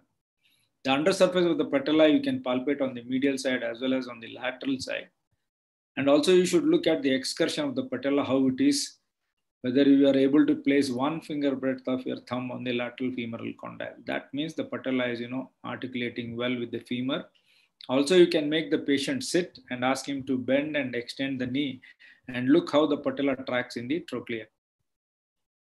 Ligamentum patella tenderness at the level of the tibial tuberosity, you should be mindful of. Sometimes this area is very painful, especially in cases of uh, uh, gout and some uh, conditions like uh, psoriasis, you can have your patches around this area. You should be mindful of that. And uh, tibial tuberosity per se should be visualized because the, sometimes the axis of the patella changes in its movement and then you can pick up what is called as the J sign, which is a good J sign, or if it is not according to the mechanics of the knee that the patella is moving and whether the patella is subluxating. It will also help you to calculate the alignment of the limb. Uh, quickly, you will see that uh, patellar tap, how it should be elicited. A postgraduate is always asked this question if they see a swelling around the knee. Generally, because the synovial covering in the knee is in the form of a horseshoe shape, you will see that the patella has got a swelling in the suprapatellar area as you see it here. But how will you elicit the patellar tap is a general question an examiner wants to ask you. So you have to milk the fluid into the joint and then you have to give a gentle tap on the patella and you will see that it bounces back against your thumb. That is what you are supposed to see. But it's also important to know when you can't do a patellar tap. If the knee has got a flexion deformity like this, the patella is already engaged in the trochlea. That is a time when you definitely cannot do patellar tap.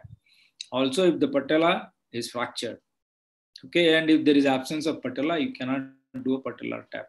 So these are some conditions that you will know that you can't do a patellar tap. Synovial thickening is commonly seen in the medial side of the uh, knee at the level of the suprapatellar area. And you will roll this uh, synovium under your thumb. Generally, they will ask you uh, for whether there is tenderness, whether it is uh, only in that area or it is in around the entire area of the knee and you may have to differentiate it from a lipoma. That is a common question that they will ask. Also, swelling in the medial side of the knee generally will be due to arteriovenous fistula in the vastus medialis muscle, which is very common. You should be able to differentiate it from a synovial thickening of inflammatory origin.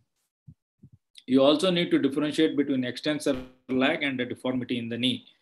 An extensor lag is patient is not able to actively extend the knee, whereas in a deformity, the patient's knee is fixed in such a position and passively we cannot correct it. So that is the difference between a deformity and an extensor lag. Sometimes you can see that there are distance sign as you're seeing in the toe here. Okay. Patient can have swelling in the knee, but also can have redness of the first metatarsal, metatarsal uh, phalangeal joint, which uh, will give you an indication that this pathology can be due to what is called as gout. So you also look for signs that are away from the joint when you are diagnosing a pathology in the knee, like the changes in the nail in psoriasis, the skin patches as I described to you in the back, as well as in the at the level of the tibial tuberosity or at the level of the elbow. And then you can look for lesions as you see here in the, for diagnosing a condition called as gout. So now palpating basically uh, for the range of movement of the knee quickly to see that whether the knee is having a full range of motion or not, or is there a deformity in the knee. So these areas you quickly ascertain uh, both actively as well as passively to look also for whether there is any crepitus, pain, or any spasm of the muscle when he does that. So this is these three things you should be covering when you're telling your examiner whether the patient has got all these three. When he moves the knee, does he have pain? Does he have muscle spasm or when he palpate, does he have crepitus? Local warmth generally will be there if the knee is uh, worn out or if it is a traumatic area or there is, there is any inflammatory condition. One thing you have to be mindful of, the knee has got a normal hyperextension as you see here. The conditions that alter the normal uh, hyperextension of the knee is uh, fibrosis of the infrapatellar pad of fat. This, can happen because of a traumatic event or because of an infra inflammatory event, or it can be trauma as a result of surgery, wherein we, you know, debride the infrapatellar pad of fat while uh, having an access to CV. um, ACL in the uh, intercondylar area. So too much of debridement of a fat pad also will cause arthrofibrosis in the infrapatellar area, and then you will not have the normal hyperextension that the patient should have. Now coming to the meniscus, which is uh, my favorite topic because all um, knee pain because of fall or because of trivial trauma in the knee uh, will generate an injury probably to the meniscus and how we'll pick it up in the clinical uh, scenario or in our outpatient. Basically, when a meniscus is injured, uh, the gentleman or the patient will tell you that they have got pain on walking or standing and especially squatting. Deep squat sometimes can bring about pain. They will generally present you with a mild swelling more than 24 hours duration. Pain on force hyperextension is another thing that you need to know of. There will be limitation of range of movement. For me, joint line tenderness McMurray's test is enough to diagnose a meniscal injury. Apart from that, we have additional tests uh, that have been described to diagnose a meniscal injury, which are McMurray's test, Steinmann's test, and Apley's test. In McMurray's test, which is to your right side uh, top corner, you flex the knee and you abduct and look for patient's face to tell whether he has got pain on the medial side of the knee. Also, you keep your finger on the joint line to make sure that the pain is arising from that area. This is called a Steinmann's test. You can either internally rotate or externally rotate and look for pain or tenderness that is arising from the medial side of the joint or on the lateral side of the joint. Apley's test is one which is got two components in it, which is this this slide, which is on your uh, top right corner, uh, lower right corner. The patient is in prone position. Initially, you will do a distraction test, meaning you will distract the knee in 90 degree, and then you will do an internal rotation and external rotation uh, maneuver to ascertain if the patient has got pain. But you are not seeing the face of the patient in this case. So uh, there are sometimes doubt whether the patient is telling the truth or not. So you do McMurray's, you do Apley's or Steinmann's, and then you can add these dynamic tests called as the squat test or the Ridvan test or the Thessaly's test. But it is easy to practice Thessaly's test, which is this one. You can ask the patient to stand on one leg, the injured one. You can demonstrate first how to do it. And you can do an internal rotation and an external rotation in this fashion. And if it develops pain in internal rotation, it is because of the lateral meniscal injury. And if it is it develops pain in uh, internal, rota- internal rotation, then it is from the lateral side. In external rotation, it is the, from the medial side. Uh, pain arises, then it is from the medial meniscal injury. Ridwan Ridvan test is a complicated test. You have to make a patient to sit in this fashion. Probably it is a little complicated and the patient may not do it uh, in acute scenario. Yes, duck waddle test or asking the patient to walk like a duck can also, uh, you know, give you some inputs of a meniscal pathology. But in clinical practice, what we do in our hospital is we look for joint line tenderness. We look for McMurray's test, Apley's test, and we add Thessaly's test. So these four things we do definitely to diagnose a meniscal injury. So in your clinical practice, if you uh, uh, use these four tests, 90% of the cases you'll be sure that you'll be diagnosing a meniscal pathology when you investigate it by uh, investigations like MRI. So um, Thomas asked me also to talk about ligaments. I am continuing with my presentation on ligaments here. There are two collateral ligaments as everyone knows and the collateral ligaments have to be examined both in uh, flexion and extension. The reason being in flexion, you will isolate the collateral ligament, especially the medial collateral ligament, which arises from the medial epicondyle and attaches up to six centimeters below the joint line on the medial side, as you can see here. This is the medial epicondyle. This is the attachment six centimeters below the joint line. You flex the knee, you isolate the medial uh, collateral ligament. But you examine the same knee in extension, you are examining not only the MCL, you will also examine the capsule. So it is more important for a ligament to be seen both in flexion and in extension to see the severity of the injury. If it opens up um, in extension, then both the capsule and the MCL is involved. If it opens up only in flexion of 30 degrees, then the MCL is involved.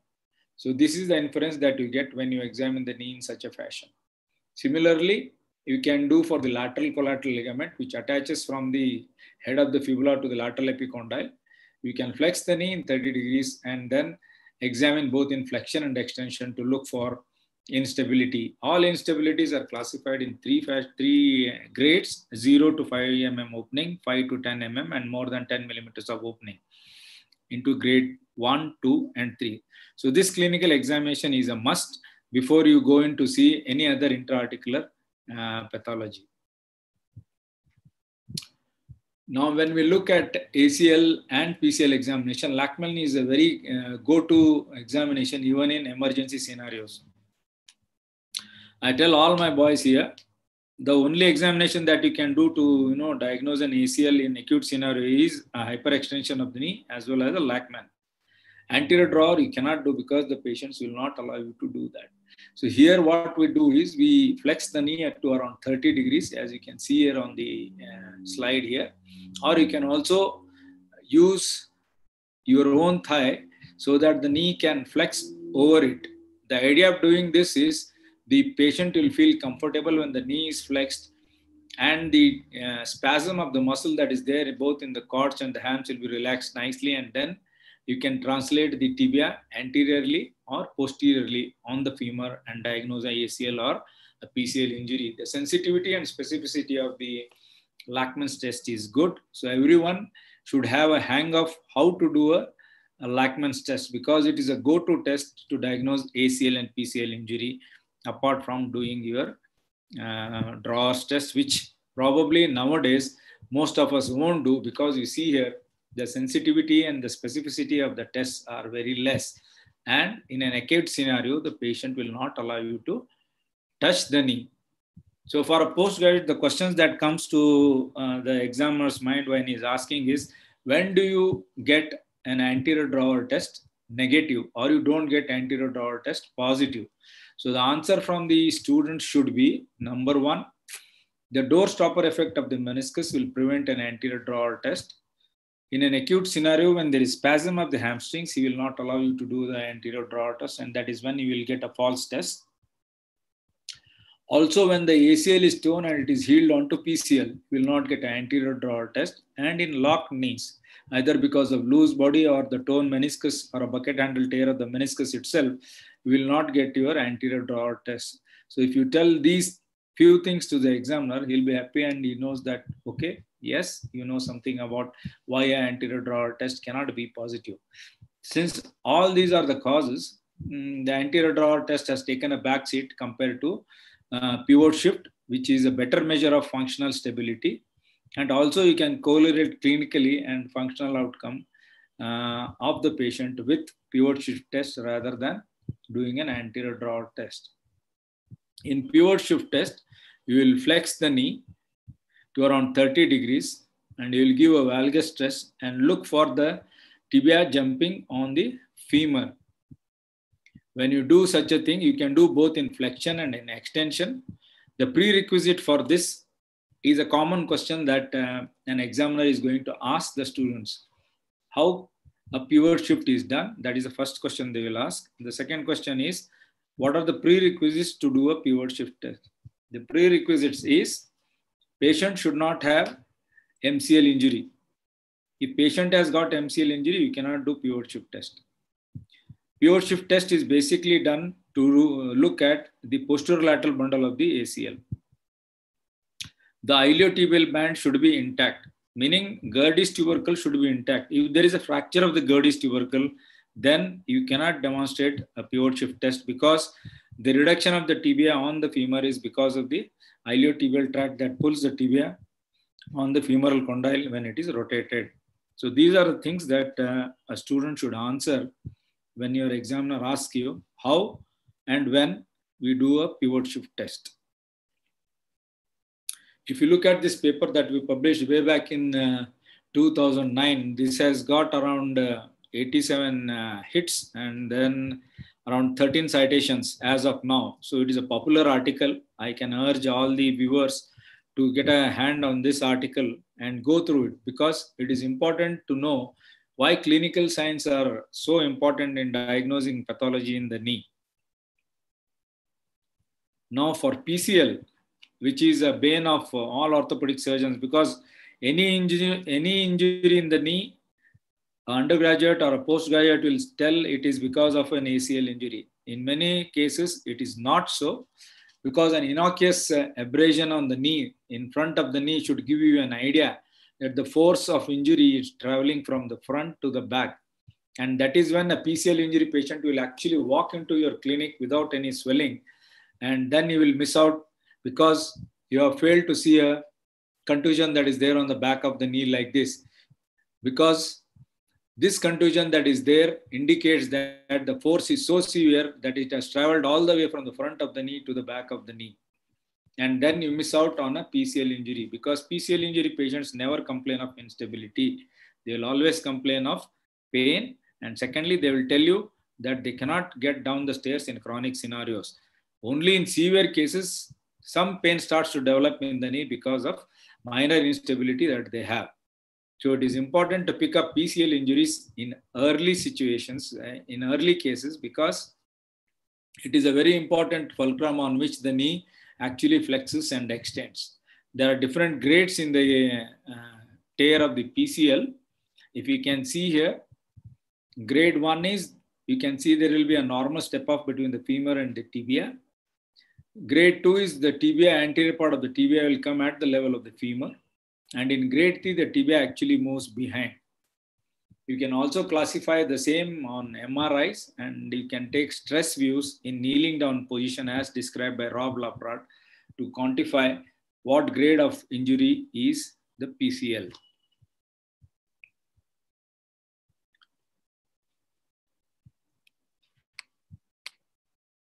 Hmm.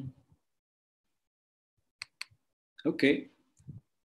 There are other signs that you can see. It is called as the Godfrey's test and the quadriceps active test that you can do uh, regularly to diagnose a PCL injury.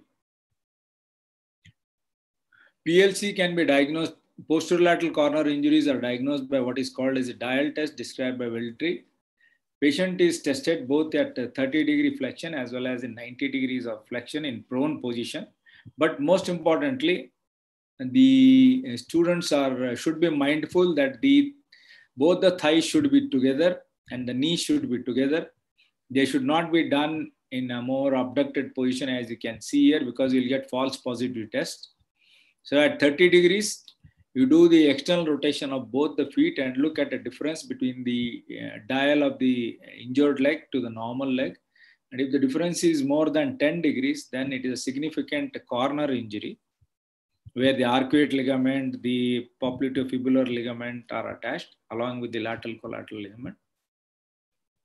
And if you get the same test positive at 90 degrees, it does it not only indicates that there is a corner injury, it will also indicate that there is a PCL injury. Reverse pivot shift test is done in internal rotation as described by Stabile and Hughston described an external rotation recurvatum test to diagnose a posterior lateral corner injury, wherein you can see that the patient is sitting in this fashion and you hold the great toe and lift it up to look for rotation and instability at this area on the lateral side. Dial test I spoke to you and uh, if there is a multi-ligament scenario, you also will be doing what is called as the basic ATLS manual uh, assessment of the patient and also we'll do what is called as an ankle, ankle brachial index which is very important because in a multi-ligament scenario, uh, the patient would generally have a small abrasion and the knee would have already located when it comes to your OPD, but lying down on a stretcher. But you will miss out um, uh, major injury in the knee if you don't examine by doing stress views and if you don't do his ankle brachial index to look out for a vascular injury and we generally sometimes take them up for evaluation under anesthesia if you suspect one multiligamentous injury, as you can see here on your screen. So when you look for a multiligamentous injury, always ask for a arterial Doppler. Sometimes arterial Doppler cannot be done because of the uh, open injuries are there around the knee or on the leg. You can ask for a CT angio, which is a go-to diagnosis, and you can definitely pick up a popliteal artery injury in uh, some cases, which will be beneficial in helping the patient, you know, to recover well from a suspected uh, vascular injury in the patient. So if you see this gentleman here on the top, there is an open injury here and we can examine him in the EMED, but it is better to examine him in the theater in this fashion. You can see that his medial collateral ligament is involved. Also, the lateral collateral ligament is involved. And then when you make the patient's knee flex, you can see that the tibial tuberosity on this side is not uh, prominent, indicating that there could be some posterior translation of the tibia, which is very evident on the X-ray like this. And then sometimes they can have also a puckering of the skin, which is a very classical sign to say that the knee is herniated, the medial femoral condyle is herniated through the capsule of the knee, and this becomes um, a cause for unreduced knee dislocation. So if when you see a puckering like this on the skin, it is important for you to understand that the medial femoral condyle is already herniated through the capsule and there is no way you can reduce it by closed means unless you do a open reduction for this. Thomas, it is okay. I am clear so far. Yes, sir. We can. You're all very clear, sir. Thank you. Thank you. Now, when we look for ankle brachial index, we look at the systolic pressure between the upper limb and the lower limb. It is a very sensitive and a specific test to do in the EMET because it quickly you can pick up uh, whether you can save the limb or the limb requires further investigation in such a scenario. You can see this. Sometimes this knee will come to you in a reduced position. And then if you don't do a simple test like the ankle brachial index, you will miss out. And if the delay in treatment is more than six to eight hours, the patient may have to lose the limb. So it is important for us to really follow uh, some uh, protocol or some kind of a flow chart to help you uh, treat with uh, um, multiligamentous injury. For example, if the perfusion is normal, then you will observe the patient. And if the ankle brachial index is more than 9.9, you will observe them. But if the ankle brachial index is less than 9 with normal perfusion, an arteriograph is, arteriography is indicated. But if the pulse is absent and if there are hard vascular, uh, avascular signs saying that the pulse is not there, it is very feeble, and you can see that there is an injury in that area, an immediate um, OR or exploration is mandatory. So it is important to classify these injuries so that you can dish out a treatment which is feasible for that uh, case in that particular scenario. Also, sometimes you will see that there can be in multiligamentous injury a nerve injury also. In 30% of the cases, uh, a complete lesion will be there and more commonly it will be associated with the posterior lateral corner injury. If the lesion of the nerve is less than six centimeters, the patients of the common peroneal nerve injury will do well. Most of them occur because they play in football injuries or in skiing injuries. And this is the protocol that we follow to treat or manage common peroneal nerve injuries. If they are less than six centimeters, you can observe them and because uh, for a period of three to six months and beyond six months, if they don't improve, then the line of treatment will be to do a tendon transfer. But if the lesion is more than uh, six centimeter, the prognosis is really uh, poor. The chances of reinnervation is not there, and then you will straight away opt for a posterior tibialis tendon transfer. Neurolysis in some scenarios might help the patient, uh, which is uh, of doubtful benefit, but in all cases, you will observe them between six weeks, three months, and at six months, and then you will look for uh, the improvement or no improvement in the uh, nerve injury. Related examination, as Dr. Um, Hemant Kalyan has alluded to, you examine the spine, hip, and the ankle, and isometric muscle testing should be done. And any examination in the knee is incomplete if you don't examine the regional lymph node. Isometric muscle testing is very, very important because I need to tell you this incident. There was this uh, young boy, 23 years, who came from uh, a reputed hospital in this country, and he was slated to undergo um, ACL reconstruction. But uh, when he came to our OPD, um, we examined the gait of the patient. It was very difficult for him to walk. Only one test we asked him to do in the OPD was to ask him to, you know, sit down and get up. Patient really climbed onto his knee and then he was able to stand up meaning he had some kind of muscular dystrophy in addition to his ACL injury that the MRI had picked up. So muscular dystrophy patient undergoing an ACL surgery, we died. So we straight away referred the patient for muscle biopsy and further uh, treatment to a neurologist rather than doing an ACL reconstruction for these patients. So it is important to examine the patient overall rather than jumping on to see a MRI that any patient nowadays comes with saying that he has got an ACL injury without thoroughly examining him. So a complete examination of the patient is a must when you want to do some procedure on them. Also described uh, measurements are by uh, mechanical means and robotic measurements are also available and stress radiographies. even to help you to diagnose any ligament injuries in the knee. And uh, my message for everyone is you have to rise above the routines of the daily ward rounds, which are nowadays not found because of the corona incident. But every opportunity that you get to serve mankind in the best of the traditions, you need to do that because it will add to the store of the medical knowledge and also help your uh, skill sets. And if you want to really go after and treat these kind of individual, you should be a, well-rounded uh, surgeon to know all aspects of examining a knee so that you can treat these sporting sporting guys uh, with the best of the knowledge that you have got. Thank you, Kishen. Thank and you if very you much, allow sir. me, I will uh, share with you one case uh, which will, you know, give you the perspective of entire ligament injuries uh, if time permits. Do you want me to do that?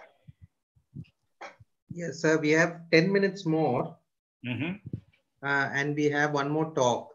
Okay, then I close. Can we just go to the talk, sir, if you don't mind? Yes, yes, yes. Sure, sir. Sure, sir. Because we have a fixed time limit on the YouTube. Is it my talk only? Yeah, your talk on ligamentous injuries. Sir.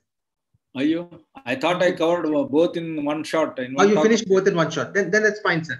Then you can give that example of the uh, uh, Yes. the case I'll just open it and share it. It is Sure, nice. sir. You can Sure, see sir. that. One second.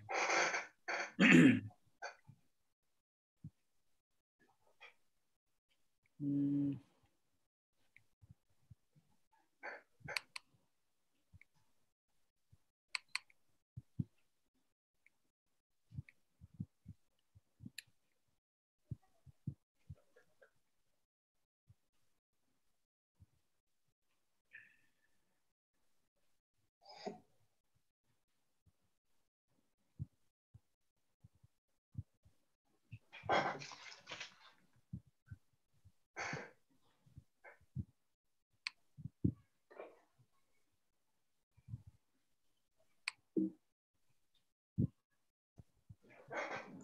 We'll come back to that after a few.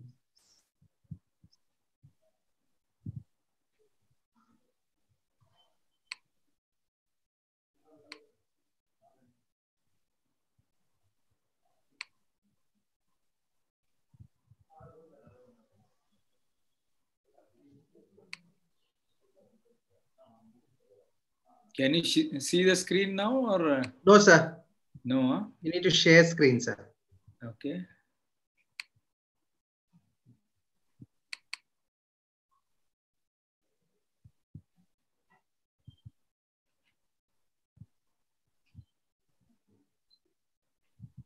What is happening?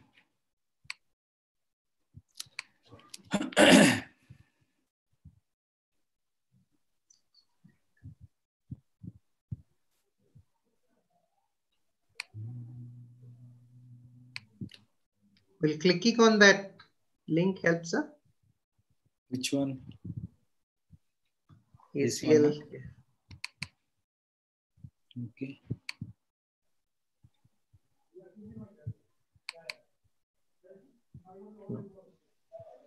Can you see now? No, sir. No. Okay.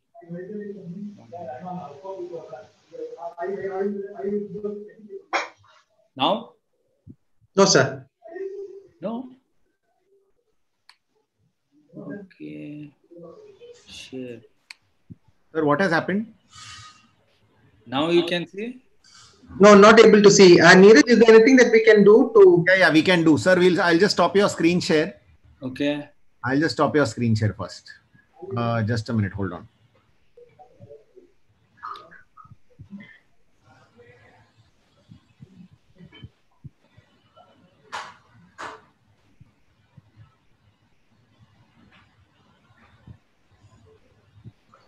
Yeah, your screen share is stopped. Now is your uh, now what you have to do? Just click on share screen Share screen. Okay. and the select the first one, the one the one which shows window screens. The first one. Can you see the first one left side page top? Yeah. So screen that you have to select and then click on share. Click on share. Okay. Share. Okay. Ah, yes. Now? Now we see it, sir. Now you just put on your presentation video. Now it's seen. Presentation, whatever it is. Okay, done. Okay. So this is a case example of an ACL, PCL, and posterolateral corner injury, which generally, um, okay. This is a 23-year-old male who had a road traffic accident five months back and a sustained injury to both the legs actually. And he was in ICU for treatment for a head injury for a longer period of time. And then he came to us and complained of pain and swelling in both the knees and the right thigh. He was not able to bear it, obviously, and he had a fracture femur with IDK. IDK of the left knee. right knee, difficult to diagnose IDK. So sometimes when you get uh, input like this, you should be very careful how with the fracture femur, they examined an IDK in the knee. Okay. This is an anterior drawer test. You look for a soft end point in the front as well as you look for a posterior soft point. point. You can see that in this case, the knee is more than grade 3 injury. Okay. And then when you come on this side, you, what is called as a quadriceps active test. You stabilize the foot and ask the patient to fire his quadriceps in this fashion. Okay. You can see that the patient's tibia will move in the front when it tightens his quadriceps. So this is one of the tests that you can do in a, a PCL injury. Also, you can do what is called as anteromedial drawer test just to look for rotational instability in the knee and just if you have to you know do more than you know stabilizing the PCL or you need to do something else on the medial side to stabilize the knee. Also, you can do an anterolateral drawer test, rotational test like that to look for how the tibia is rotating and is there any lateral corner injury in that area. These tests are additional tests which may not be asked for you in the exam, but yes, especially the anterior drawer test and the posterior drawer test, quadriceps active test, Godfrey's test should be done along with the pivot shift test.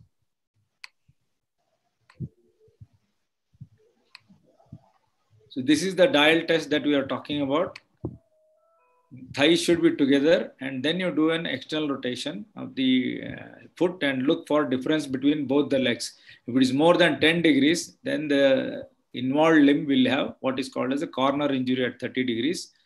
And then if you do the same test at 90 degrees, you will see that the difference is more than 10 degrees between the feet and then you can diagnose a PCL injury as well. So this boy has got ACL, PCL and PLC injury.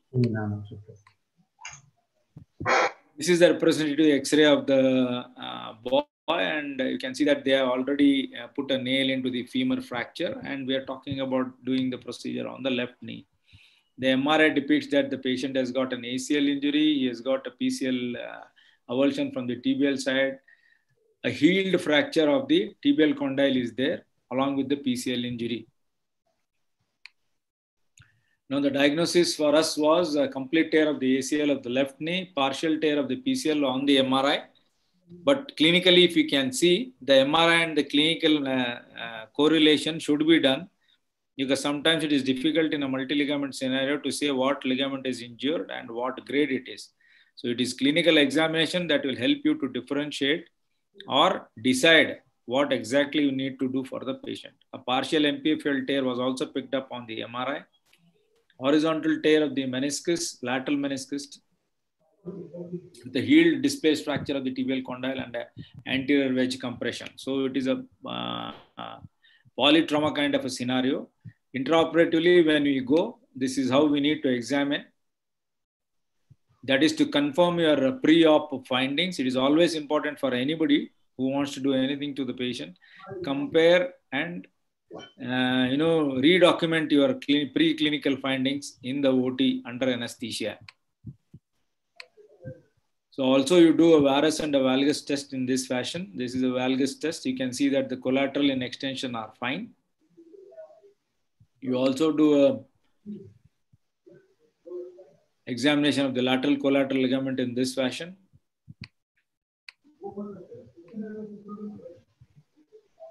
So this gentleman will need a lot of grafts. The planning would be to harvest whatever grafts are there on the available uh, autografts in his body. So we take up his uh, hamstring muscles. That is the one. And then we also take his uh, peroneus longus muscle, which is this. The peroneus brevis is on the left hand side and the peroneus longus is this one that is harvested. We also take his uh, quadriceps tendon in this fashion. If you split it, you can do a double bundle PCL. This is how it is on the femoral side, but on the tibial side, it will be a single bundle. You can also take it along with the piece of patella. So it is called as a central quadriceps tendon graft with the patella bone. Then how do we use these grafts? So for PCL, we use the central quadriceps tendon graft.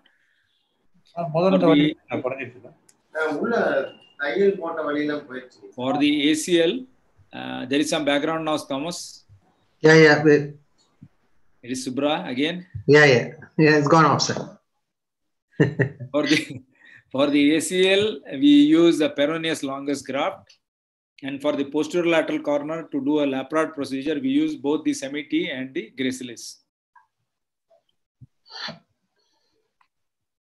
So intra-op as we go, you can see a sloppy ACL sign because of the PCL injury. So we mark the both the ACL and the PCL uh, landmarks to do the procedure.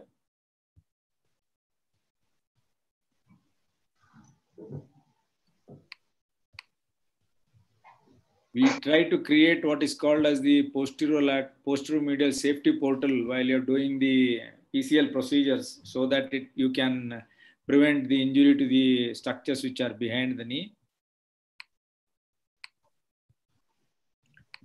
We drill uh, at the anatomical attachment of the femur on the using a jig at 8 millimeters uh, this thing.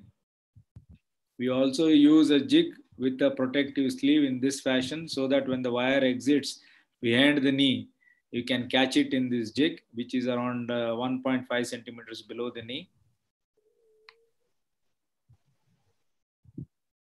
you can see a champagne drop that is there behind the knee and that is up to where you clear it so that you can have a better uh, you know uh, control on the translation of the tibia posteriorly.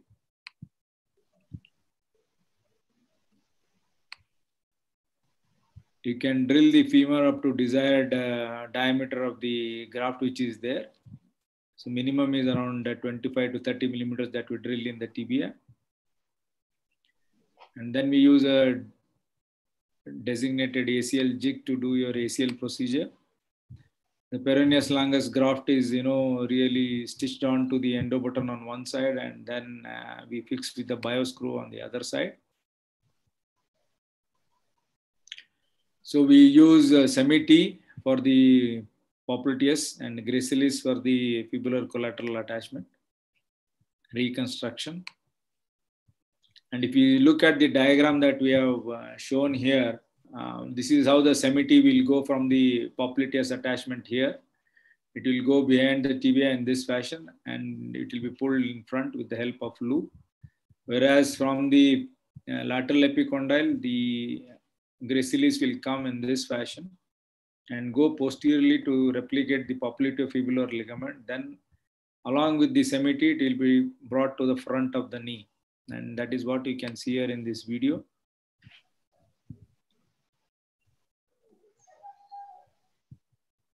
So both the SEMI-T and gracilis will be brought to the front.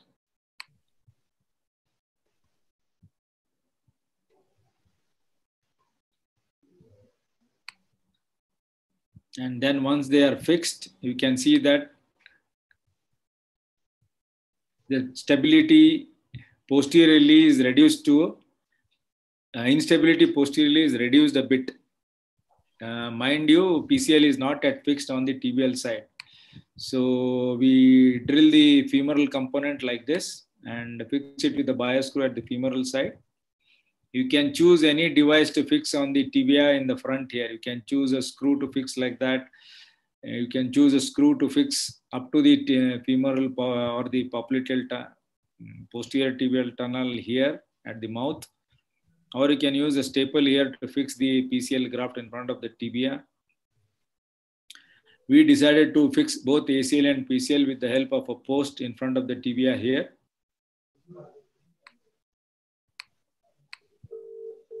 And this is the pre-fixation uh, picture you must be mindful of, if you can see here. And this is the post-fixation that you can see the stability in the knee is good. It is important you address all the pathology that is there in the knee for a you know reasonable uh, uh, stability in the knee. You cannot you know give a hundred percent thing, but when you do, you can give him near normal corrections that a patient requires for a function. So this is how it will look uh, when you do a multiligamentous surgery at wound closure and a lot of staples and implants will be seen on the patient's body, but nevertheless, the stability that they get by a multiligamentous procedure will be uh, phenomenal, provided you pick all these instabilities clinically and then you can dish out treatment to the patient either in a staged fashion or in a single sitting. Thank you very much. Thank, you very much, sir. Thank, you for that, uh, for showing us what all is possible in, in knee reconstruction. I think it was fantastic one. Thank you, sir. I think we just run a little late and uh, I, I think know, I know. TV is going to uh, switch us off now. Yes. Uh, if there are any questions, we'll discuss it on the WhatsApp group, sir. So I won't be Okay, okay, no problem, no problem. Thank you very much for coming and thank all the other faculty for coming uh, and uh, speaking at uh, Bone School this month. I thank all the participants who logged on. I hope you found the session useful. Uh, just a little note, our next session will be on the 16th of October, which is a Friday, same time, 6 to 8, and the topic is the shoulder joint. So we go through the same procedure again. So we talk about examination, imaging, and uh, some common pathologies in the shoulder. So these, uh, the bone school is predominantly for orthopedic trainees, and I hope you will attend and make full use of it. Thank you very much. Thank you very much, Dr. Rajkumar, for taking your time off. Thank you. Thank you, Dr. Subramanian. Thank you. Hi. Thank you very much. Thank Yeah. you very much. If there are any questions, Thank you, we'll discuss them Rajkumar. the Thank you. WhatsApp Your talk was very nice. I was listening to that. Thank you. Thank you. Thank you very much. Thank you, uh, Neeraj. Thank you. Neeraj, thank you very much. Thank you, sir. Thank you, sir. Thank you, Paul. Thank you. Thank you. We'll Bye-bye. end the session, I'll, sir. uh, I'll go offline. Yes, we'll all go offline simultaneously. Thank you. Thank you. you very much. Thank you.